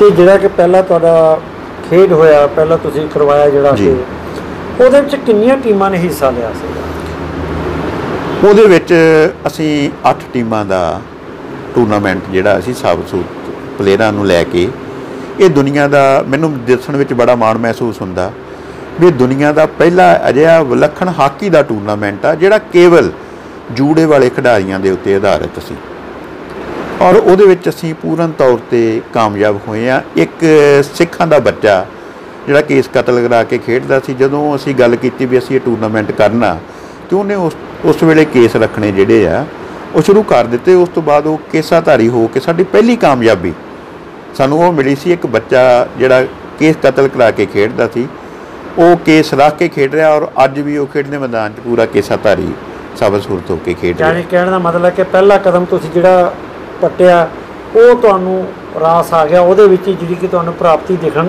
ਸ਼ੁਰੂ ਹੋ ਗਈ। ਉਹਨੇ ਸਾਡੀ ਬੜੀ ਹੌਸਲਾ ਅਫਜਾਈ ਕੀਤੀ, ਉਸ ਬੱਚੇ ਦੇ ਉਸ ਐਕਸ਼ਨ ਨੇ ਸਾਡੀ ਬੜੀ ਹੌਸਲਾ ਅਫਜਾਈ ਕੀਤੀ। ਉਸ ਤੋਂ ਬਾਅਦ ਅਸੀਂ ਉਸ ਕਾਮਯਾਬ ਹੋਣ ਤੋਂ ਬਾਅਦ ਅਸੀਂ ਇਹਨੂੰ ਫੁੱਲ ਗਰਾਊਂਡ ਟੂਰਨਾਮੈਂਟ ਮਹਾਲੀ ਦੇ ਵਿੱਚ ਪੀਆਈਐਸ ਦੇ ਡਾਇਰੈਕਟਰ ਸਰਦਾਰ ਸੁਖਬੀਰ ਸਿੰਘ ਗਰੇਵਾਲ 올림픽ਨ ਸੀ। ਏਸ਼ੀਅਨ ਗੇਮ ਦੇ ਵਿੱਚ 82 ਵੀ ਉਹਨਾਂ ਨੇ ਖੇਡੀਆਂ। ਔਰ ਉਹਨਾਂ ਨੇ ਵੀ ਬੜੀ ਹੌਸਲਾ ਅਫਜਾਈ ਕੀਤੀ। ਉਹਨਾਂ ਨੂੰ ਕਹਿੰਦੇ ਵੀ ਤੁਸੀਂ ਇੱਥੇ ਮੋਹਾਲੀ ਦੇ ਵਿੱਚ ਇਹ ਟੂਰਨਾਮੈਂਟ ਕਰਵਾਓ। ਮੈਂ ਕਿਹਾ ਜੀ, ਇਹ ਤਾਂ ਤੁਹਾਡੀ ਗਰਾਊਂਡ ਦਾ ਹੀ ਖਰਚਾ ਸਾਡੇ ਕੋਲ ਨਹੀਂ ਪੂਰਾ ਹੋਣਾ। ਕਹਿੰਦੇ ਵੀ ਨਹੀਂ, ਅਸੀਂ ਤੁਹਾਡੀ ਪੂਰੀ ਮਦਦ ਕਰਾਂਗੇ। ਉਹਨਾਂ ਨੇ ਮੇਰੇ ਬੈਠੇ ਬੈਠੇ ਸਰਦਾਰ ਪ੍ਰਗਟ ਸਿੰਘ ਜਿਹੜੇ ਸਾਬਕਾ ਹਾਕੀ ਕਪਤਾਨ ਆ 올림픽ਨ ਆ, ਉਹਨਾਂ ਨੂੰ ਫੋਨ ਕਰਕੇ ਕਿਹਾ ਵੀ ਇਹ ਟੂਰਨਾਮੈਂਟ ਕਰਾਉਣਾ, ਤੁਸੀਂ ਇਹ ਜਿਹੜਾ ਸਟੇਡੀਅਮ ਆ, ਇਹ ਬੁੱਕ ਕਰਵਾਓ। ਤੇ ਉਹਨਾਂ ਨੇ ਸਾਨੂੰ ਉਹ ਸਟੇਡੀਅਮ ਬੁੱਕ ਕਰਵਾਉਣ ਵਿੱਚ ਅਸੀਂ ਦੋ ਟੂਰਨਾਮੈਂਟ ਜਿਹੜੇ 골ਡ ਕੱਪ ਦੇ ਇੱਥੇ ਕਰਵਾਏ ਨੇ। ਅੰਡਰ 19 ਗੋਲਡ ਕੱਪ ਜਿਹੜਾ ਅਸੀਂ ਕਰਵਾਉਂਦੇ ਹਾਂ ਔਰ ਔਰ ਉਹਨਾਂ ਨੇ ਸਰਦਾਰ ਪ੍ਰਗਟ ਸਿੰਘ ਉਹਨਾਂ ਦੀ ਇਹਦੇ ਵਿੱਚ ਬਹੁਤ ਵੱਡਾ ਸਾਨੂੰ ਯੋਗਦਾਨ ਆ। ਹੋਰ ਜਿਹੜੇ ਪਲੇਅਰਾਂ ਨੇ ਉਹਨਾਂ ਨੇ, ਜਿਨ੍ਹਾਂ ਨੇ ਕੋਚ ਸਾਹਿਬਾਨ, ਜਿਨ੍ਹਾਂ ਦੇ ਵਿੱਚ ਸਰਦਾਰ ਬਲਦੇਵ ਸਿੰਘ ਸ਼ਾਹਬਾਦ ਵਾਲੇ ਆ, ਉਹਨਾਂ ਨੇ ਸਾਨੂੰ ਬਹੁਤ ਵੱਡਾ ਹੌਸਲਾ ਅਫਜ਼ਾਈ ਕੀਤੀ ਆ। ਗੁੰਦੀਪ ਕੁਮਾਰ ਜਲੰਧਰ ਤੋਂ ਨੇ ਔਰ ਮਹਾਰਾਜਾ ਹਾਕੀ ਵਾਲੇ ਜਿਹੜੇ ਆ, ਉਹ ਜਲੰਧਰ ਤੋਂ ਨੇ। ਰਾਜਪਾਲ ਸਿੰਘ ਹੋਣੀ, ਪ੍ਰਭਜੋਤ, ਬਲਜੀਤ ਸਿੰਘ ਗੋਲਕੀਪਰ ਸੀ। ਔਰ ਇਹਨਾਂ ਨੇ ਸਾਡੀ ਬੜੀ ਹੌਸਲਾ ਅਫਜਾਈ ਕੀਤੀ ਜਿਨ੍ਹਾਂ ਦੀ ਹੌਸਲਾ ਅਫਜਾਈ ਦੇ ਨਾਲ ਜਿਹੜਾ ਸਾਡਾ ਹੌਸਲਾ ਉਹ ਵਧਿਆ।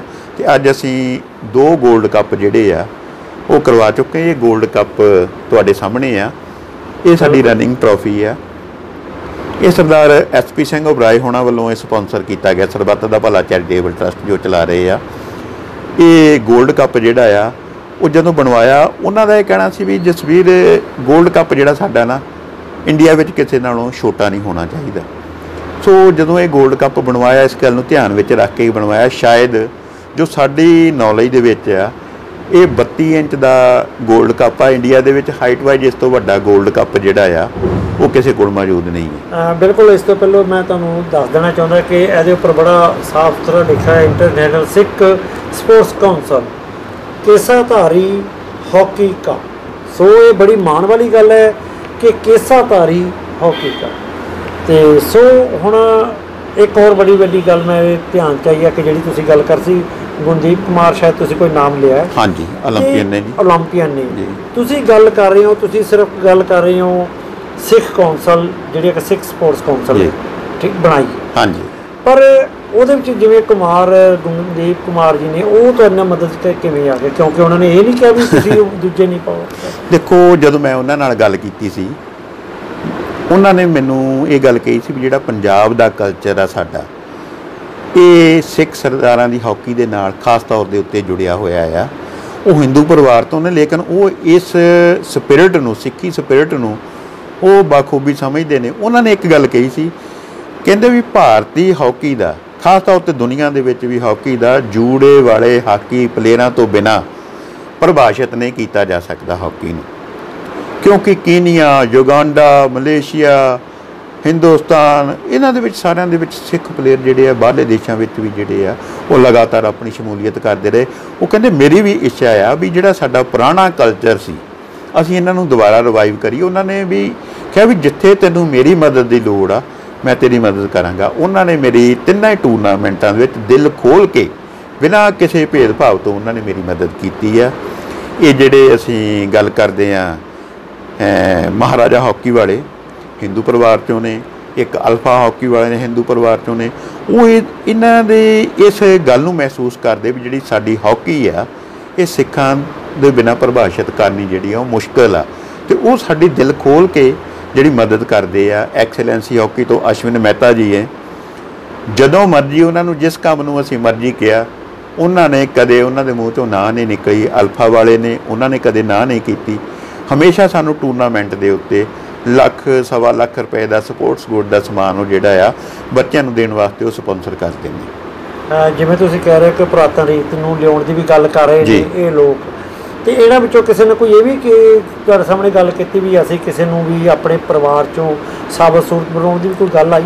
ਹਾਂ, ਗੁਰਦੀਪ ਕੁਮਾਰ ਜੀ ਦੀ ਜਿਹੜੀ ਗੱਲ ਆ, ਉਹਨਾਂ ਨੇ ਇਹ ਗੱਲ ਕਹੀ ਸੀ, ਕਹਿੰਦੇ ਮੈਂ ਤਾਂ ਖੁਦ ਚਾਹੁੰਦਾ ਵੀ ਮੇਰਾ ਜਿਹੜਾ ਪੋਤਾ ਆ ਨਾ, ਪਹਿਲਾ ਪਹਿਲਾ ਪੋਤਾ ਜਿਹੜਾ ਮੇਰਾ ਹੋਵੇ ਤਾਂ ਮੈਂ ਉਹਨੂੰ ਸਾਬਤ ਸੂਰਤ ਕਰਕੇ, ਜੂੜੇ ਵਾਲਾ ਕਰਕੇ ਉਹਨੂੰ ਮੈਂ ਖੇਡ ਦੇ ਮੈਦਾਨ ਵਿੱਚ ਹਾਕੀ ਦੇ ਕੇ ਭੇਜਣੀ ਚਾਹੁੰਦਾ। ਤੇ ਉਸ ਗੱਲ ਨੇ ਮੈਨੂੰ ਬੜਾ ਉਤਸ਼ਾਹਿਤ ਵੀ ਕੀਤਾ ਵੀ ਚਲੋ ਇਹ ਜ਼ਰੂਰੀ ਨਹੀਂ ਵੀ ਅਸੀਂ ਜਿਹੜਾ ਇਹ ਭੇਦ ਭਾਵ ਜਿਹੜਾ ਆਪਣੇ ਮਨਾਂ ਦੇ ਵਿੱਚ ਇੱਕ ਜੋ ਰੀਤ ਅੱਜ ਕੱਲ ਚੱਲ ਪਈ ਹੈ ਭਾਰਤ ਦੇ ਵਿੱਚ ਸਾਰੇ ਉਸੇ ਕਿਸਮ ਦੇ ਨਹੀਂ ਸਾਰੇ ਇਹਨੂੰ ਮਿਟਾਉਣ ਵਾਸਤੇ ਸਾਰੇ ਤੱਤ ਪਰ ਨੇ ਜੋ ਇਸ ਗੱਲ ਨੂੰ ਸਮਝਦੇ ਨੇ ਮਹਿਸੂਸ ਕਰਦੇ ਨੇ ਦਿਲ ਤੋਂ ਉਹ ਕਦਰਦਾਨ ਨੇ ਇਹਨਾਂ ਚੀਜ਼ਾਂ ਦੇ ਤੇ ਜਸਵੀਰ ਜੀ ਇੱਕ ਹੋਰ ਅਸੀਂ ਜੇ ਗੱਲ ਪਿਛੋਕੜ ਦੇਖੀਏ ਜੀ। ਗੁਰੂ ਨਾਨਕ ਪਾਸ਼ਾ ਨੇ ਗੁਰੂ ਨਾਨਕ ਦੇਵ ਜੀ ਨੇ ਬੜਾ ਕਲੀਅਰ ਕਿਹਾ ਕਿਰਤ ਕਰੋ ਨਾਮ ਜਪੋ ਵੰਡ ਛਕੋ। ਹਾਂਜੀ। ਸੋ ਉਹ ਜਿਹੜੀ ਕਿਰਤ ਕਰਦੇ ਆ ਅੱਜ ਵੀ ਜਿਹੜੀ ਆ ਕਿ ਉਸੇ ਤਰ੍ਹਾਂ ਚੱਲੀ ਆ ਰਹੀ ਹੈ ਹਾਂਜੀ। ਲੰਗਰ ਵੀ ਲੱਗਦੇ ਨੇ। ਤਰ੍ਹਾਂ ਤਰ੍ਹਾਂ ਦੇ ਲੰਗਰ ਲੱਗਦੇ ਨੇ। ਹਾਂਜੀ। ਤੇ ਮੇਰਾ ਖਿਆਲ ਜਿਹੜੀ ਤੁਸੀਂ ਆ ਖੇਡਾਂ ਨੂੰ ਲੈ ਕੇ ਅੱਗੇ ਵਧਾਉਣ ਦੀ ਗੱਲ ਕਰ ਰਹੇ ਹੋ ਨੌਜਵਾਨੀ ਨੂੰ ਜਿਹੜਾ ਆਪਣਾ ਕਿ ਸਾਬਤ ਸੂਰਤ ਸਿੱਖੀ ਨਾਲ ਜੋੜਨ ਦੀ ਗੱਲ ਕਰ ਰਹੇ ਹੋ ਇਹ ਵੀ ਉਹਨਾਂ ਲੰਗਰਾਂ ਦੇ ਵਿੱਚ ਇੱਕ ਇਹ ਵੀ ਇੱਕ ਹਿੱਸਾ ਬਣਦਾ ਹੈ। ਦੇਖੋ ਜਿਹੜੀ ਸਿੱਖ ਕੌਮ ਆ, ਇਹ ਜਿਹੜਾ ਇਹਦਾ ਕੱਲਾ ਲੰਗਰਾਂ ਨਾਲ ਹੀ ਸੰਬੰਧ ਨਹੀਂ, ਇਹਦਾ ਸਪੋਰਟਸ ਨਾਲ, ਖੇਡ ਨਾਲ ਬੜਾ ਗਹਿਰਾ ਸੰਬੰਧ ਆ। ਗੁਰੂ ਸਾਹਿਬ ਨੇ ਆਪਣੇ ਜਵਾਨੀ ਦੇ ਦਿਨਾਂ ਵਿੱਚ ਖਿੱਦੋ ਖੁੰਡੀ ਵੀ ਖੇਡੀ ਸੀ ਔਰ ਛੇਵੇਂ ਪਾਤਸ਼ਾਹ ਨੇ ਅਕਾਲ ਤਖਤ ਸਾਹਿਬ ਦੇ ਉੱਤੇ ਦੰਗਲ ਵੀ ਕਰਵਾਏ ਸੀ, ਖੇਡ ਕੁਸ਼ਤੀਆਂ ਵੀ ਕਰਵਾਈਆਂ ਸੀ। ਇਹ ਜਿਹੜਾ ਹਾਕੀ ਦੀ ਗੱਲ ਕਰੀਏ ਖਿੱਦੋ ਖੁੰਡੀ ਦਾ ਹੀ ਸੁਧਰਿਆ ਹੋਇਆ ਜਿਹੜਾ ਰੂਪ ਆ ਅੱਜ ਦੁਨੀਆ ਵਿੱਚ ਚੱਲ ਰਿਹਾ, ਅੱਗੇ ਤੋਂ ਅੱਗੇ ਇਹਦੇ ਵਿੱਚ ਚੇਂਜਸ ਆਉਂਦੀਆਂ ਜਾ ਰਹੀਆਂ। ਅਸਲ ਦੇ ਵਿੱਚ ਜਿਹੜਾ ਇਹਦਾ ਮੁੱਢ ਆ, ਉਹ ਖਿੱਦੋ ਖੁੰਡੀ ਤੋਂ ਹੀ ਸ਼ੁਰੂ ਹੁੰਦਾ ਆ। ਸੋ ਇਸ ਕਰਕੇ ਸਿੱਖਾਂ ਦਾ ਜਿਹੜਾ ਸਬੰਧ ਆ, ਉਹ ਜਿਹੜਾ ਖੇਡਾਂ ਦੇ ਨਾਲ ਬੜਾ ਗਹਿਰਾ ਸਬੰਧ ਆ। ਸੋ ਜ- ਲੇਕਿਨ ਥੋੜਾ ਜਿਹਾ ਕਈ ਵਾਰੀ ਇਸ ਗੱਲ ਤੇ ਮਹਿਸੂਸ ਵੀ ਹੁੰਦੀ ਦਿਲ ਨੂੰ ਇਹ ਗੱਲ ਵੀ ਸਾਡੇ ਸਿੱਖ ਜਿੰਨੇ ਦੁਨੀਆ ਦੇ ਵਿੱਚ ਛਾਏ ਹੋਏ ਨੇ ਜਿੰਨਾ ਉਹਨਾਂ ਦੇ ਕੋਲ ਜਜ਼ਬਾ ਆ ਕੁਝ ਕਰਨ ਦੇ ਲਈ ਉਹਨਾਂ ਸਿਰਫ ਅਸੀਂ ਲੰਗਰਾਂ ਦੇ ਉੱਤੇ ਖਰਚ ਕਰ ਰਹੇ ਆ ਜਾਂ ਹੋਰ ਹੈ, ਖਾਲਸਾ ਏਡ ਵਾਲੇ ਵੀ ਕਰ ਰਹੇ ਆ ਉਹਨਾਂ ਦਾ ਵੀ ਧੰਨਵਾਦ ਆ ਯੂਨਾਈਟਿਡ ਸਿੱਖਸ ਵਾਲਿਆਂ ਦਾ ਵੀ ਧੰਨਵਾਦ ਆ ਔਰ ਐਸਜੀਪੀਸੀ ਵਾਲੇ ਵੀ ਖੇਡ ਅਕੈਡਮੀਆਂ ਚਲਾ ਰਹੇ ਆ। ਲੇਕਿਨ ਮੇਰੀ ਉਹਨਾਂ ਨੂੰ ਬੇਨਤੀ ਆ ਵੀ ਉਹ ਜਿਹੜਾ ਕੁਝ ਪੈਸਾ ਜਿਹੜਾ ਚਾਹੇ ਦਸਵੰਧ ਦੇ ਰੂਪ ਚ ਹੋਰ ਪਾਸਿਓਂ ਕੱਢ ਕੇ ਕੁਝ ਖੇਡਾਂ ਵੱਲ ਨੂੰ, ਜਿਹੜੀਆਂ ਅਜਿਹੀਆਂ ਸੰਸਥਾਵਾਂ ਆ, ਜਿਹੜੀਆਂ ਸਿੱਖੀ ਵਾਸਤੇ, ਸਪੋਰਟਸ ਵਾਸਤੇ ਕੰਮ ਕਰਨੀਆਂ ਇੱਛਕ ਆ, ਉਹਨਾਂ ਦੀ ਜਿਹੜੀ ਮਾਇਕ ਮਦਦ ਆ ਨਾ, ਉਹ ਜ਼ਰੂਰ ਕਰਨੀ ਚਾਹੀਦੀ। ਲ- ਜਿੰਨੀ ਮਾਇਕ ਮਦਦ ਦੀ ਸਾਨੂੰ ਜ਼ਰੂਰਤ ਆ, ਜਿੰਨੀ ਸਾਨੂੰ ਮਿਲ ਗਈ, ਅਸੀਂ ਉਨਾ ਹੀ ਉਹਦੇ ਰਿਜ਼ਲਟ ਜਿਹੜੇ ਬਿਹਤਰ ਔਰ ਜਲਦੀ ਜਿਹੜੇ ਆ, ਉਹ ਦੇ ਸਕਾਂਗੇ। ਜਸਵੀਰ ਜੀ, ਮੈਂ ਇਹ ਸਵਾਲ ਵੀ ਤੁਹਾਨੂੰ ਕਰਨਾ ਸੀਗਾ ਕਿ ਜਿਵੇਂ ਪੰਜਾਬ ਦੇ ਵਿੱਚ ਭਾਰਤ ਦੇ ਵਿੱਚ ਹੀ ਨਹੀਂ ਪੂਰੀ ਦੁਨੀਆ ਦੇ ਵਿੱਚ ਜਿਹੜੀਆਂ ਕਿ ਸਿੱਖ ਸੰਸਥਾਵਾਂ ਬਹੁਤ ਵੱਡੇ ਪੱਧਰ ਤੇ ਕੰਮ ਕਰ ਰਹੀਆਂ ਨੇ। ਤੇ ਅਸੀਂ ਜੇ ਗੱਲ ਕਰੀਏ ਸ਼੍ਰੋਮਣੀ ਗੁਰਦੁਆਰਾ ਪ੍ਰਬੰਧਕ ਕਮੇਟੀ ਦੀ ਜੀ। ਤੇ ਉਹ ਵੀ ਜਿਹੜੇ ਕਿ ਖਿਡਾਰੀਆਂ ਨੂੰ ਪ੍ਰਮੋਟ ਕਰਦੇ ਨੇ ਉਹ ਵਿਦਿਅਕ ਅਦਾਰੇ ਵੀ ਹੈਗੇ ਨੇ। ਪਰ। ਕੀ ਤੁਹਾਡੇ ਇਸ ਵਿਸ਼ੇ ਨਾਲ ਉਹ ਜੁੜੇ ਨੇ? ਕੀ ਤੁਹਾਡੇ ਨੂੰ ਉਹਨਾਂ ਨੇ ਕੋਈ ਮਦਦ ਦਿੱਤੀ ਹੈ ਤੁਹਾਨੂੰ? ਦੇਖੋ ਸਾਡੇ ਤਿੰਨ ਟੂਰਨਾਮੈਂਟ ਹੋਏ ਨੇ। ਤਿੰਨਾਂ ਟੂਰਨਾਮੈਂਟਾਂ ਦੇ ਵਿੱਚ ਐਸਜੀਪੀਸੀ ਦੀਆਂ ਆਪਣੀਆਂ ਟੀਮਾਂ ਜਿਹੜੀਆਂ ਆ, ਉਹ ਸ਼ਿਰਕਤ ਕੀਤੀਆਂ ਉਹਨਾਂ ਨੇ ਹਰ ਵਾਰੀ। ਉਹਨਾਂ ਦੇ secretary sport secretary Tajinder Singh Padda ji, ਉਹ ਖੁਦ ਹਾਕੀ ਦੇ ਕਬੱਡੀ ਦੇ ਖਿਡਾਰੀ ਰਹੇ ਨੇ। ਉਹ ਸਾਰੇ ਸਪੋਰਟਸ ਦੀ ਉਹ ਦੇਖ ਰੇਖ ਕਰਦੇ ਨੇ। ਮੇਰੀ ਉਹਨਾਂ ਨਾਲ ਵੀ ਗੱਲ ਹੋਈ ਸੀ।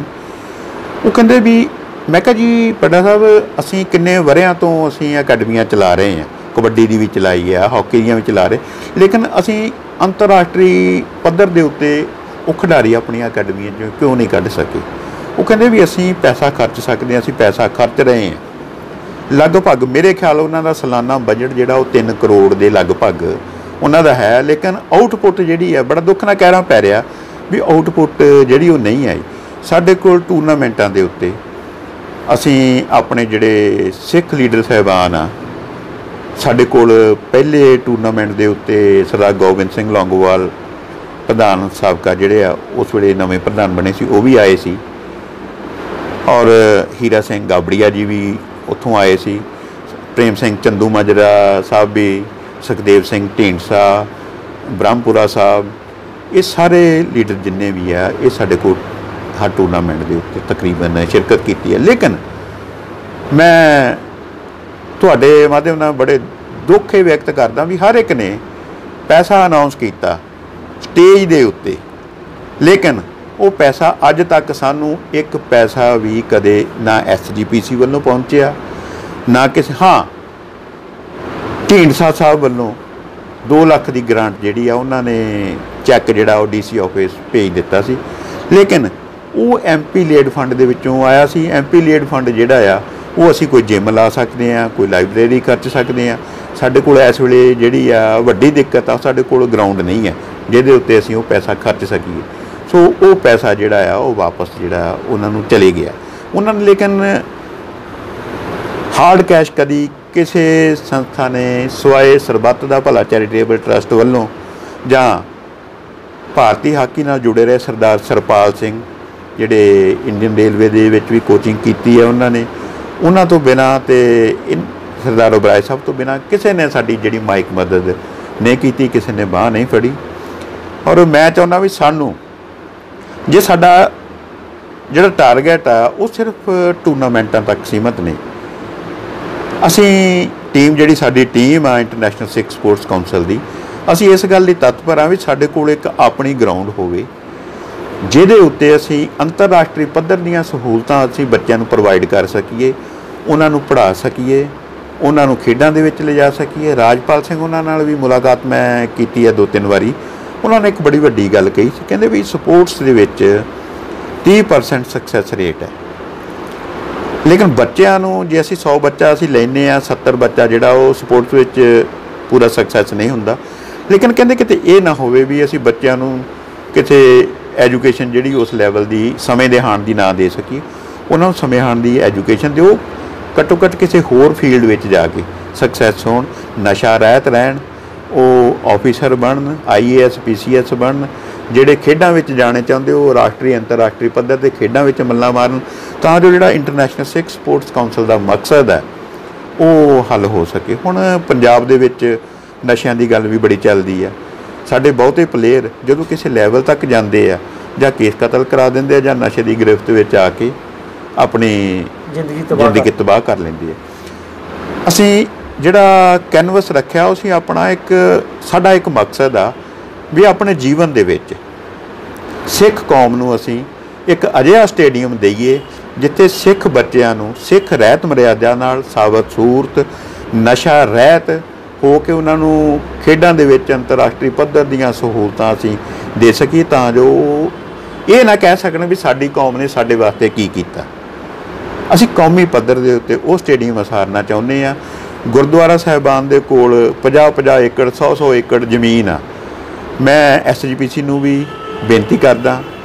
ਹੋਰ ਸਿੱਖ ਸੰਸਥਾਵਾਂ ਨੂੰ, ਰਵੀ ਸਿੰਘ ਖਾਲਸਾ ਏਡ ਯੂਨਾਈਟਿਡ ਸਿੱਖਸ ਵਾਲਿਆਂ ਨੂੰ ਵੀ ਉਹਨਾਂ ਨੂੰ ਮੈਂ ਉਹਨਾਂ ਨੂੰ ਬੇਨਤੀ ਕਰਨੀ ਚਾਹੁੰਦਾ ਵੀ ਸਾਡਾ ਘੱਟੋ ਘੱਟ ਇਸ ਪੱਧਰ ਤੇ ਸਾਨੂੰ ਉਹ ਜੇ 4-5 ਕਿੱਲੇ ਜ਼ਮੀਨ ਦੇ ਦੇ ਦੇਣ। ਬਹੁਤ ਸਾਰੇ ਅਜੇ ਧਨਾੜ ਸਿੱਖ ਬੈਠੇ ਨੇ ਜਿਹੜੇ ਜ਼ਮੀਨ ਦੇ ਜ਼ਮੀਨੀ ਹਕੀਕਤ ਜਿਹੜੀ ਆ ਉਹਦੇ ਸਾਡੇ ਕੋਲ ਹੋਏਗੀ ਤਾਂ ਉਹਦੇ ਉੱਤੇ ਇਨਫਰਾਸਟ੍ਰਕਚਰ ਕਾਇਮ ਹੋ ਸਕੇਗਾ। ਜਸਵੀਰ ਜੀ ਇੱਕ ਗੱਲ ਮੈਂ ਤੁਹਾਡੇ ਤੋਂ ਪੁੱਛਣੀ ਚਾਹਾਂਗਾ ਕਿ ਜਿਵੇਂ ਕਿ ਆਪਣੀ ਸੰਸਥਾ ਦਾ ਨਾਮ ਹੈ ਇੰਟਰਨੈਸ਼ਨਲ ਸਿਕਸ ਸਪੋਰਟਸ ਕਾਉਂਸਲ ਜੀ। ਤੇ ਪਰ ਜੇ ਉਹਦੇ ਵਿੱਚ ਕੋਈ ਮੰਨ ਲਓ ਦੂਜਾ ਨੌਜਵਾਨ ਹਿੰਦੂ ਹੋਵੇ ਜਾਂ ਕੋਈ ਵੀ ਹੋਰ ਹੋਵੇ ਕਿਸੇ ਨਾਲ। ਜਾਣੀ ਕਿ ਆਪਾਂ ਉਹ ਨਹੀਂ ਗੱਲ ਕਰਦੇ ਵੀ ਕਿਸੇ ਤਰ੍ਹਾਂ ਦਾ ਵੀ ਹੋਵੇ ਜੇ ਉਹ ਆਉਣਾ ਚਾਹਵੇ ਤਾਂ ਕੀ ਉਹ ਆ ਕੇ ਆਪਣੀ ਸੰਸਥਾ ਦੇ ਵਿੱਚ ਜਿਹੜੀ ਆ ਕੇ ਆਪਣੀ ਖੇਡ ਵਗੈਰਾ ਕਰ ਸਕਦਾ? ਦੇਖੋ ਜੀ ਇਹ ਬੜੇ ਲੋਕਾਂ ਨੂੰ ਭੁਲੇਖਾ ਆ ਵੀ ਇਹ ਸਿੱਖਾਂ ਦੀ ਸੰਸਥਾ ਇਹਦੇ ਵਿੱਚ ਕੋਈ ਹੋਰ ਨਹੀਂ ਖੇਡ ਸਕਦਾ ਬੱਚੇ ਆ ਇਹਨਾਂ ਨੂੰ ਅਸੀਂ ਖਿਡਾਉਣਾ ਹੈ ਰੱਬ ਦਾ ਰੂਪ ਹੁੰਦੇ ਇਹਨਾਂ ਨੂੰ ਅਸੀਂ ਨਸ਼ਾ ਰਹਿਤ ਕਰਨਾ ਆਪਣੇ ਬੱਚੇ ਜਿਹੜੇ ਸਿੱਖ ਕੌਮ ਦੇ ਉਹਨਾਂ ਨੂੰ ਸਿੱਖੀ ਦੇ ਵਿੱਚ ਸਾਂਭਣਾ ਇਹਦੇ ਵਿੱਚ ਜੇ ਕੋਈ ਹੋਰ ਬੱਚਾ ਆ ਕੇ ਵੀ ਖੇਡਣਾ ਚਾਹੇ ਹਿੰਦੂ ਆ, ਈਸਾਈ ਆ, ਮੁਸਲਮਾਨ ਆ, ਉਹਨਾਂ ਨੂੰ ਅਸੀਂ ਪੂਰਾ ਮੌਕਾ, ਆਪਣੇ ਬੱਚਿਆਂ ਦੇ ਬਰਾਬਰ ਉਹਨਾਂ ਨੂੰ ਡਾਈਟ ਉਹਨਾਂ ਦੇ ਬਰਾਬਰ ਦੇ ਉਹਨਾਂ ਨੂੰ ਫੈਸਿਲਿਟੀ ਪ੍ਰੋਵਾਈਡ ਕਰਾਂਗੇ। ਲੇਕਿਨ ਜਿਹੜੀ ਅਸੀਂ ਆਪਣੀਆਂ ਟੀਮਾਂ ਬਣਾਉਣੀਆਂ ਚਾਹੁੰਦੇ ਆ, ਉਹ ਸਾਬਤ ਸੂਰਤ ਸਿੱਖਾਂ ਦੀ ਵਿੱਚੋਂ ਹੀ ਟੀਮ ਬਣਾ ਕੇ ਉਹਨਾਂ ਨੂੰ ਅਗਲੇ ਪੱਧਰ ਤੇ ਅਸੀਂ ਲੇਕਿਨ ਖੇਡਣ ਵਿੱਚ ਗਰਾਊਂਡ ਵਿੱਚ ਕੋਚਿੰਗ ਦੇ ਵਿੱਚ ਡਾਈਟ ਵਿੱਚ ਕਿਸੇ ਨੂੰ ਸਾਡੇ ਕੋਲੋਂ ਕੋਈ ਭੇਦਭਾਵ ਨਹੀਂ ਨਾ ਇਹ ਗੁਰਸਿੱਖੀ ਦਾ ਨਾ ਇਹ ਅਸੂਲ ਹੈ ਨਾ ਅਸੀਂ ਇਸ ਤੇ ਯਾਨੀ। ਕਿ ਬੜੀ ਸਪਸ਼ਟ ਗੱਲ ਹੈ ਕਿ ਮਾਨਸ ਕੀ ਜਾ ਸਭੇ ਸਭੇ ਇੱਕ ਪਹਿਚਾਨ ਉਸ ਨੂੰ ਤੁਸੀਂ ਜਿਹੜਾ ਕਿ ਮੁੱਖ ਰੱਖਦੇ ਹੋਏ ਹਰੇ ਸਾਰਿਆਂ ਨੂੰ ਸਿੱਖਿਆ ਦਿਓਗੇ ਸਾਰਿਆਂ ਨੂੰ ਜਾਣੀ ਕਿ ਸਿਖਲਾਈ ਜਿਹੜੀ ਖੇਡਾਂ ਉਹ ਦਿਓਗੇ ਜੀ। ਸੋ ਮੈਂ ਹੁਣ ਕਿਉਂਕਿ ਇਜਾਜ਼ਤ ਵੀ ਚਾਹਾਂਗਾ ਸਮਾਂ ਬੜਾ ਥੋੜਾ ਹੈ ਤੇ ਪਰ ਉਹਦੇ ਵਿੱਚ ਦੋ ਚਾਰ ਗੱਲਾਂ ਜਿਹੜੀਆਂ ਜੀ। ਅਸੀਂ ਉਹ ਪੁੱਛਾਂਗਾ ਇੱਕ ਜਿਹੜੀ ਆ ਤੁਸੀਂ ਬੱਚਿਆਂ ਦੇ ਉੱਪਰ ਖਰਚਾ ਕਰ ਰਹੇ ਹੋ ਜਦੋਂ ਤੁਸੀਂ ਆਪਣੇ ਟੂਰਨਾਮੈਂਟ ਕਰਾਉਨੇ ਹੋ ਤੇ। ਉਹ ਖਰਚਾ ਕਿਸ ਤਰ੍ਹਾਂ ਤੁਸੀਂ ਇਕੱਠਾ ਕਰਦੇ ਹੋ ਕਿਵੇਂ ਕਰਦੇ ਹੋ? ਤੇ ਮੈਂ ਆ ਦੋ ਹਾਕੀਆਂ ਵੀ ਤੁਹਾਡੇ ਕੋਲ ਦੇਖ ਰਿਹਾ ਤੇ ਹਾਕੀਆਂ ਬਾਰੇ ਵੀ ਮੈਂ ਤੁਹਾਡੇ ਕੋਲੋਂ ਜ਼ਰੂਰ ਜਾਣਕਾਰੀ ਲਵਾਂਗਾ ਕਿ ਇਹ ਜਿਹੜੀਆਂ ਹਾਕੀਆਂ ਨੇ ਤੁਸੀਂ ਕਿੱਥੋਂ ਬਣਾਉਂਦੇ ਹੋ ਕੀ ਕੁਝ ਇਹਨਾਂ ਦਾ ਵੀ ਕੋਈ ਇਤਿਹਾਸ ਤੁਹਾਡੇ ਨਾਲ ਜੁੜਿਆ? ਦੇਖੋ ਭਾਜੀ ਬਹੁਤ ਵਧੀਆ ਸਵਾਲ ਇਹ ਕੀਤਾ ਵੀ ਜਦੋਂ ਅਸੀਂ ਟੂਰਨਾਮੈਂਟ ਕਰਾਉਂਦੇ ਆ ਜਿਹੜਾ ਟੂਰਨਾਮੈਂਟ ਅਸੀਂ ਅੱਜ ਅਸੀਂ ਘਰੋਂ ਵੀ ਬਾਹਰ ਪੈਰ ਪੁੱਟਦੇ ਆ ਤਾਂ ਜਿਹੜਾ ਖਰਚਾ ਜਿਹੜਾ ਉਹ ਸ਼ੁਰੂ ਹੋ ਜਾਂਦਾ ਆ ਬਿਲਕੁਲ। ਅੱਜ ਮਹਿੰਗਾਈ ਦਾ ਜ਼ਮਾਨਾ ਇੱਕ ਟੂਰਨਾਮੈਂਟ ਜਿਹੜਾ ਆ, ਅਸੀਂ ਨਹੀਂ ਚਾਹੁੰਦੇ ਵੀ ਇਹ ਸਾਡਾ ਜਿਹੜਾ ਟੂਰਨਾਮੈਂਟ ਆ, ਅਸੀਂ ਵੱਡੇ ਕੈਨਵਸ ਦੇ ਉੱਤੇ ਜੇ ਇਹਨੂੰ ਅਸੀਂ ਸਿਰਜਿਆ ਆ, ਤਾਂ ਇਹਦਾ ਜਿਹੜਾ ਲੈਵਲ ਆ ਨਾ, ਉਹ ਵੀ ਉੱਚ ਪਾਏ ਦਾ ਹੋਣਾ ਚਾਹੀਦਾ, ਉੱਚ ਪੱਧਰ ਦਾ ਟੂਰਨਾਮੈਂਟ ਹੋਣਾ ਚਾਹੀਦਾ। ਅਸੀਂ ਇਹ ਜਿਹੜੇ ਤਿੰਨੇ ਟੂਰਨਾਮੈਂਟ ਕਰਵਾਏ ਆ ਅੰਡਰ 19 ਕਰਵਾਏ ਆ। ਅੰਡਰ 19 ਤੋਂ ਬਾਅਦ ਇਹ ਉਹ ਬੱਚੇ ਆ, ਜਿਹੜੇ ਇੰਡੀਅਨ ਟੀਮ ਦੇ ਵਿੱਚ ਜਿਹੜੀ ਆ, ਇਹਨਾਂ ਦੀ ਜੂਨੀਅਰ ਇੰਡੀਆ ਸੀਨੀਅਰ ਇੰਡੀਆ ਦੇ ਵਿੱਚ ਜਾਂ ਭਾਰਤੀ ਕੈਂਪਾਂ ਦੇ ਵਿੱਚ ਜਿਹੜੀ ਆ ਉਹ ਐਂਟਰੀ ਹੁੰਦੀ ਹੈ ਔਰ ਇਹ ਜਿਹੜੇ ਬੱਚੇ ਨੇ ਸਾਡੇ ਕੋਲ, ਅਸੀਂ ਜਿਹੜੀਆਂ ਟੌਪ ਲੈਵਲ ਦੀਆਂ ਅਕੈਡਮੀਜ਼ ਨੇ, ਉਹਨਾਂ ਦੇ ਵਿੱਚੋਂ ਅਸੀਂ ਇਹ ਟੀਮਾਂ ਲੈ ਕੇ ਆਉਂਦੇ ਹਾਂ। ਅਸੀਂ ਜੰਮੂ ਤੋਂ ਵੀ ਟੀਮ ਲਿਆਉਂਦੇ ਆ ਪੰਜਾਬ ਤੋਂ, ਚੰਡੀਗੜ੍ਹ ਤੋਂ, ਹਰਿਆਣਾ ਤੋਂ ਵੀ ਟੀਮਾਂ ਆਉਂਦੀਆਂ ਆ। ਇਹ ਅੱਠ ਟੀਮਾਂ ਨੂੰ ਅਸੀਂ ਜਿਹੜਾ ਆ 5 ਦਿਨ ਦੇ ਵਿੱਚ, ਦੋ ਪੂਲਾਂ ਦੇ ਵਿੱਚ ਵੰਡ ਕੇ ਅਸੀਂ ਕਰਾਉਂਦੇ ਆ ਲੇਕਿਨ ਜਿਹੜੀ ਪੈਸੇ ਦੀ ਗੱਲ ਤੁਸੀਂ ਫਿਰ ਕੀਤੀ, ਉਹ ਬੜੀ ਮੁੱਖ ਗੱਲ ਆ।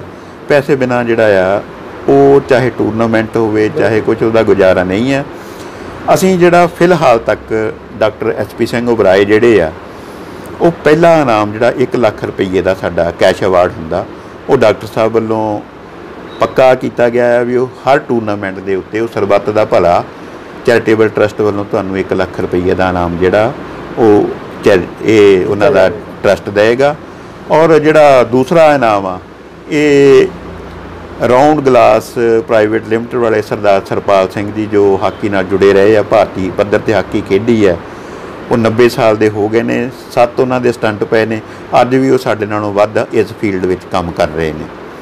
ਉਹ ਕੁਝ ਮਦਦ ਉਹ ਕਰਦੇ ਨੇ ਕੁਝ ਉਬਰਾਈ ਸਾਹਿਬ ਕਰਦੇ ਨੇ ਕੁਝ ਅਸੀਂ ਆਪਣੇ ਜਿਹੜੇ ਗੁਰਸਿੱਖ ਆ, ਇਹਨਾਂ ਕੋਲੋਂ ਦਸਵੰਧ ਦੇ ਰੂਪ ਦੇ ਵਿੱਚ ਅਸੀਂ ਝੋਲੀ ਲਾ ਅੱਡ ਕੇ ਵੀ ਜਿਹੜਾ ਮੈਂ ਪੈਸਾ ਮੰਗਣ 'ਚ ਕਦੇ ਗੁਰੇਜ ਨਹੀਂ ਕੀਤਾ ਆਪਣੇ ਪਰਿਵਾਰ ਵਾਸਤੇ, ਆਪਣੇ ਘਰ ਵਾਸਤੇ।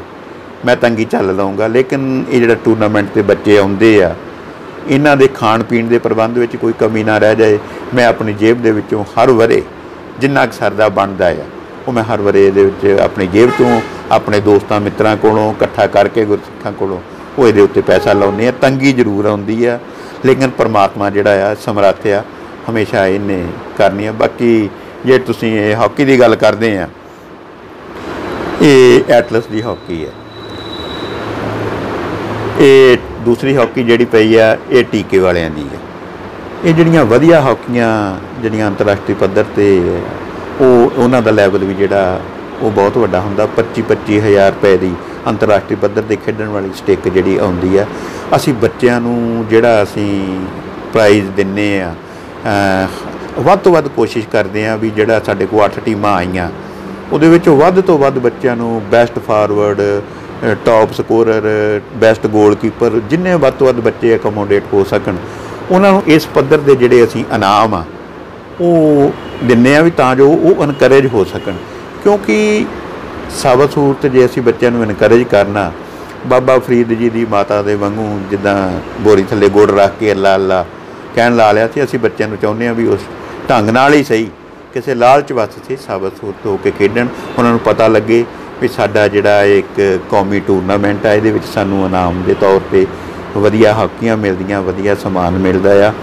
ਔਰ ਜਿਹੜੀਆਂ ਟੀਮਾਂ ਲੋਕੀ ਟੂਰਨਾਮੈਂਟਾਂ ਤੇ ਫਸਟ ਔਰ ਸੈਕੰਡ ਪ੍ਰਾਈਜ਼ ਕੱਢਦੇ ਆ, ਅਸੀਂ ਥਰਡ ਪ੍ਰਾਈਜ਼ ਵੀ ਦਿੰਨੇ ਆ ਔਰ ਫੋਰਥ ਪ੍ਰਾਈਜ਼ ਜਿਹੜਾ ਫੇਅਰ ਪਲੇ ਟਰੋਫੀ ਦਾ, ਉਹ ਵੀ ਦਿੰਨੇ ਆ। ਚਾਰ ਟੀਮਾਂ ਤੁਸੀਂ ਇਦਾਂ ਐਡਜਸਟ ਕਰਦੇ, ਬਾਕੀਆਂ ਨੂੰ ਅਸੀਂ ਹੋਰ ਇਨਾਮਾਂ ਦੇ ਤੌਰ ਤੇ ਔਰ ਟੋਟਲ ਬੱਚਿਆਂ ਨੂੰ ਘੱਟ ਤੋਂ ਘੱਟ ਅਸੀਂ ਇੱਕ ਸਪੋਰਟਸ ਕਿੱਟ ਅਸੀਂ ਕਹਿੰਦੇ ਜਿਹੜਾ ਬੱਚਾ ਸਾਡੇ ਕੋਲ ਖੇਡਣ ਆਇਆ, ਖਾਲੀ ਹੱਥ ਕੋਈ ਨਾ ਜਾਵੇ, ਕੁਛ ਨਾ ਕੁਝ ਉਹ ਲੈ ਕੇ ਜਾਵੇ, ਅਸੀਂ ਉਹਨੂੰ ਅਸੀਂ ਇਸ ਢੰਗ ਨਾਲ ਅਕਮੋਡੇਟ ਕਰਦੇ ਆ ਔਰ ਉਹਨਾਂ ਦੇ ਖਾਣੇ ਦਾਣੇ ਵਿੱਚ, ਉਹਨਾਂ ਦੇ ਰਹਾਇਸ਼ ਦੇ ਵਿੱਚ ਕੋਸ਼ਿਸ਼ ਹੁੰਦੀ ਆ ਵੀ ਅਸੀਂ ਉਹਨਾਂ ਨੂੰ ਵੱਧ ਤੋਂ ਵੱਧ ਬੈਸਟ ਕਰ ਸਕੀ ਉਹਨਾਂ ਦੇ ਵਾਸਤੇ।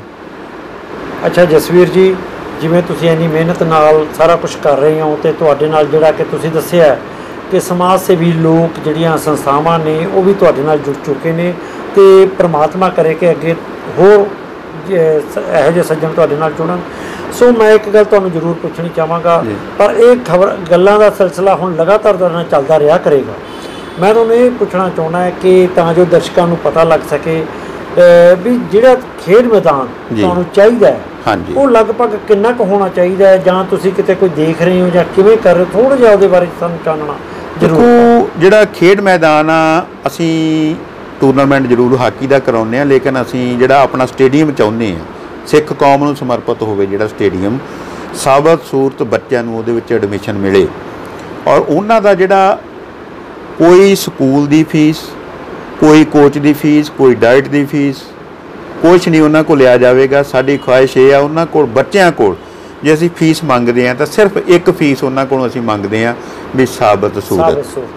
ਜਿਹੜਾ ਸਾਬਤ ਸੂਰਤ ਨਹੀਂ ਰਹੇਗਾ ਸਾਡੇ ਉਸ ਜਿਹੜਾ ਐਡਮਿਸ਼ਨ ਨਹੀਂ ਲੈ ਸਕੇਗਾ ਸਟੇਡੀਅਮ ਦੇ। ਔਰ ਉਸ ਸਟੇਡੀਅਮ 'ਚ ਹਾਕੀ ਦੀ ਅਸੀਂ ਇੱਕ ਗਰਾਊਂਡ ਜਿਹੜੀ ਘੱਟੋ ਘੱਟ ਸਵਾ ਕਿੱਲੇ ਦੇ ਕਰੀਬ ਜਿਹੜੀ ਆ ਗਰਾਊਂਡ ਚਾਹੀਦੀ ਆ। ਅਸੀਂ ਚਾਹੁੰਦੇ ਵੀ ਉਹਦੇ ਦੁਆਲੇ ਜਿਹੜਾ ਇੱਕ ਸਿੰਥੈਟਿਕ ਟਰੈਕ ਜਿਹੜਾ ਅੰਤਰਰਾਸ਼ਟਰੀ ਪੱਧਰ ਦਾ ਦੌੜਾਕਾਂ ਦੇ ਵਾਸਤੇ ਹੋਵੇ ਨੇਜਾ ਸੁੱਟਣ ਵਾਸਤੇ, ਗੋਲਾ ਸੁੱਟਣ ਵਾਸਤੇ ਹੈਮਰ ਥਰੋ ਦੇ ਵਾਸਤੇ, ਵਾਲੀਬਾਲ ਦੇ ਵਾਸਤੇ ਗਰਾਊਂਡ ਉਹਨਾਂ ਵਿੱਚ ਸਾਨੂੰ ਘੱਟੋ ਘੱਟ 5 ਏਕੜ ਜਿਹੜੀ ਜ਼ਮੀਨ ਆ ਨਾ, ਅਸੀਂ ਜੋ ਇਨਫਰਾਸਟ੍ਰਕਚਰ ਜਿਹੜਾ ਡਿਜ਼ਾਈਨ ਕਰ ਰਹੇ ਆ ਉਹਦੇ ਵਿੱਚ ਇੱਕ ਬੱਚਿਆਂ ਦਾ ਹੋਸਟਲ ਵੀ ਹੋਵੇ, ਜਿਹਦੇ ਵਿੱਚ ਉਹਨਾਂ ਦੀ ਰਿਹਾਇਸ਼ ਹੋਵੇ ਟੂਰਨਾਮੈਂਟ ਵਾਸਤੇ ਟੀਮਾਂ ਆਉਣਗੀਆਂ ਉਹਨਾਂ ਦੀ ਰਿਹਾਇਸ਼ ਦਾ ਪ੍ਰਬੰਧ ਕੰਟੀਨ ਦਾ ਅੱਛਾ ਪ੍ਰਬੰਧ, ਅਸੀਂ ਅੰਤਰਰਾਸ਼ਟਰੀ ਪੱਧਰ ਦਾ ਉਹਦੇ ਵਿੱਚ ਅਸੀਂ ਸਭ ਕੁਝ ਦੇਣਾ ਚਾਹੁੰਦੇ ਆ ਲੇਕਿਨ ਇਹ ਸੰਭਵ ਤਾਂ ਆ ਜੇ ਅਸੀਂ ਉਹਦੇ ਵਾਸਤੇ ਮਾਈਕ ਮਦਦ ਕਰ ਸਕੀਏ, ਨਹੀਂ ਤਾਂ ਗੱਲਾਂ ਦਾ ਕੜਾਹ ਹੀ ਜਿਹੜਾ ਉਹ ਸਾਡੇ ਪੱਲੇ ਰਹਿ ਜਾਊਗਾ, ਹੋਰ ਇਸ ਤੋਂ ਇਲਾਵਾ ਕੁਝ ਨਹੀਂ ਹੁੰਦਾ। ਔਰ ਅਸੀਂ ਕਹਿੰਦੇ ਵੀ ਸਾਨੂੰ ਜ਼ਮੀਨ ਮਿਲ ਜਾਏ। ਬਹੁਤ ਸਾਰੇ ਸੱਜਣ ਸਾਡੇ ਨਾਲ ਇਹੋ ਜਿਹੇ ਆ, ਉਹ ਕਹਿੰਦੇ ਤੁਸੀਂ ਜ਼ਮੀਨ ਪ੍ਰਾਪਤ ਕਰੋ। ਅਸੀਂ ਤੁਹਾਨੂੰ ਜਿਹੜਾ ਸਿੰਥੈਟਿਕ ਟਰੈਕ ਔਰ ਐਸਟ੍ਰੋਟਰਫ ਜਿਹੜੀ ਆ 4-5 ਕਰੋੜ ਦੇ ਕਰੀਬ ਸਿੰਥੈਟਿਕ ਟਰੈਕ ਉਹਦਾ ਐਸਟ੍ਰੋਟਰਫ ਦਾ ਖਰਚਾ ਉਹ ਲਵਾ ਕੇ ਦੇਣ ਨੂੰ ਤਿਆਰ ਨੇ। ਪਰ ਜਗ੍ਹਾ ਦੀ ਸਾਡੇ ਕੋਲ ਲੋੜ। ਜਗ੍ਹਾ ਦੀ ਇੱਕ ਜਗ੍ਹਾ ਕਮੀ ਹੈ ਸੋ ਜਸਵੀਰ ਸਿੰਘ ਜੀ ਬਹੁਤ ਬਹੁਤ ਧੰਨਵਾਦ ਕਿ ਜਿਹੜਾ ਤੁਸੀਂ ਇੰਨਾ ਕੁ ਵੱਡਾ ਜਿਹੜਾ ਕੰਮ ਕਰ ਰਹੇ ਹੋ ਤੇ ਤੁਸੀਂ ਸਾਨੂੰ ਅੱਜ ਆਪਣਾ ਸਮਾਂ ਦੇ ਕੇ ਬਹੁਤ ਵੱਡਾ ਜਾਣੀ ਕਿ ਕੰਮ ਕੀਤਾ ਕਿਉਂਕਿ ਇਹ ਜਿਹੜਾ ਸੁਨੇਹਾ ਸੀ ਇਹ ਲੋਕਾਂ ਵਿੱਚ ਜਾਣਾ ਬਹੁਤ ਜ਼ਰੂਰੀ ਸੀਗਾ ਅ, ਕਿਉਂਕਿ ਇਸ ਟਾਈਮ ਜਿਹੜੀ ਆ ਕਿ ਅ, ਜਾਪਾਨ ਦੇ ਟੋਕੀਓ ਦੇ ਵਿੱਚ ਜਿਹੜੀ ਆ ਕਿ ਅ, 올림픽 ਖੇਡਾਂ ਚੱਲ ਰਹੀਆਂ ਨੇ ਤੇ ਹਾਕੀ ਵੀ ਬੜੀ ਉਸ ਟਾਈਮ ਜਿਹੜੇ ਹਰ ਸਾਰਿਆਂ ਦੀ ਅੱਖ ਜਿਹੜੀ ਆ ਕਿ ਹਾਕੀ ਦੇ ਉੱਪਰ ਆ ਤੇ ਉਹਦੇ ਵਿੱਚ ਜਿਹੜੇ ਜੁੜੇ ਵਾਲੇ ਨੇ ਹੋਰ ਉਹਨੂੰ ਆਕਰਸ਼ਿਤ ਕਰਦੇ ਨੇ। ਸੋ ਇਹ ਸਨ ਜਸਵੀਰ ਸਿੰਘ ਜੀ ਪ੍ਰਧਾਨ ਇੰਟਰਨੈਸ਼ਨਲ ਸਿੱਖ ਕੌ- ਸਪੋਰਟਸ ਕੌਂਸਲ ਦੇ ਤੇ ਜੋ ਇਹਨਾਂ ਨੇ ਦੱਸਿਆ ਕਿ ਜੋ ਇਹਨਾਂ ਦੀ ਮਿਹਨਤ ਇਹਨਾਂ ਨੇ ਸ਼ੁਰੂ ਕੀਤੀ ਆ, ਉਹ ਰੰਗ ਲਿਆਉਣਾ ਸ਼ੁਰੂ ਲਿਆ- ਰੰਗ ਲਿਆ ਰਹੀ ਹੈ ਤੇ ਉਹਦੇ ਨਾਲ ਬਹੁਤ ਸਮਾਜ ਸੇਵੀ ਲੋਕ ਸੱਜਣ ਜਿਹੜੇ ਕਿ ਜੁੜ ਰਹੇ ਨੇ। ਸੋ ਇਹ ਗੱਲ ਹੁਣ ਸਾਨੂੰ ਸਾਰਿਆਂ ਦਾ ਸਾਰੀ ਜ਼ਿੰਮੇਵਾਰੀ ਬਣਦੀ ਹੈ ਕਿ ਇੰਟਰਨੈਸ਼ਨਲ ਸਿੱਖ ਸਪੋਰਟਸ ਕੌਂਸਲ ਦਾ ਜਿਹੜਾ ਕਿ ਵੱਧ ਤੋਂ ਵੱਧ ਸਹਿਯੋਗ ਦਿੱਤਾ ਜਾਵੇ, ਤਾਂ ਜੋ ਜਿਹੜੀ ਨੌਜਵਾਨੀ ਪਤਤ ਪੁਣੇ ਵੱਲ ਵੱਧ ਰਹੀ ਹੈ, ਉਹਨੂੰ ਰੋਕਿਆ ਜਾਵੇ, ਉਹਨੂੰ ਠੱਲ ਪਾਈ ਜਾ ਸਕੇ। ਸੋ, ਅਸੀਂ ਜਲਦੀ ਹੀ ਇਸ ਤਰ੍ਹਾਂ ਦੇ ਜਿਹੜੇ ਪ੍ਰੋਗਰਾਮ ਆ, ਹੁਣ ਲਗਾਤਾਰ ਕਰਦੇ ਰਵਾਂਗੇ। ਅਸੀਂ ਬਾਕੀ ਜਿਸ ਤਰ੍ਹਾਂ ਅਸੀਂ ਪ੍ਰੋਗਰਾਮ ਕਰਦੇ, ਉਸੇ ਤਰ੍ਹਾਂ ਹੁਣ ਅਸੀਂ ਖੇਡਾਂ ਦੇ ਸੰਬੰਧੀ ਆਏ ਦਿਨ ਕੋਈ ਨਾ ਕੋਈ ਨਵੀਂ ਗੱਲ ਤੁਹਾਡੇ ਸਾਹਮਣੇ ਲੈ ਕੇ ਆਵਾਂਗੇ ਤੇ ਤੁਸੀਂ ਸਾਨੂੰ ਇਸ ਗੱਲ ਦਾ ਸਹਿਯੋਗ ਦਿਓ। ਤੇ ਅਸੀਂ ਇਹ ਵੀ ਬੇਨਤੀ ਕਰਦੇ ਹਾਂ ਕਿ ਇੰਟਰਨੈਸ਼ਨਲ ਸਿੱਖ ਸਪੋਰਟਸ ਕੌਂਸਲ ਨੂੰ ਵੱਧ ਤੋਂ ਵੱਧ ਸਹਿਯੋਗ ਦਿੱਤਾ ਜਾਵੇ ਤਾਂ ਜੋ ਉਹ ਆਪਣੇ ਮਿਸ਼ਨ ਦੇ ਵਿੱਚ ਪੂਰੇ ਹੋ ਸਕਣ। ਸੋ ਮੈਂ ਇਜਾਜ਼ਤ ਚਾਹਾਂਗਾ ਮੇਜਰ ਸਿੰਘ ਪੰਜਾਬੀ ਵਾਹਿਗੁਰੂ ਜੀ ਕਾ ਖਾਲਸਾ ਵਾਹਿਗੁਰੂ ਜੀ ਕੀ ਫਤਿਹ।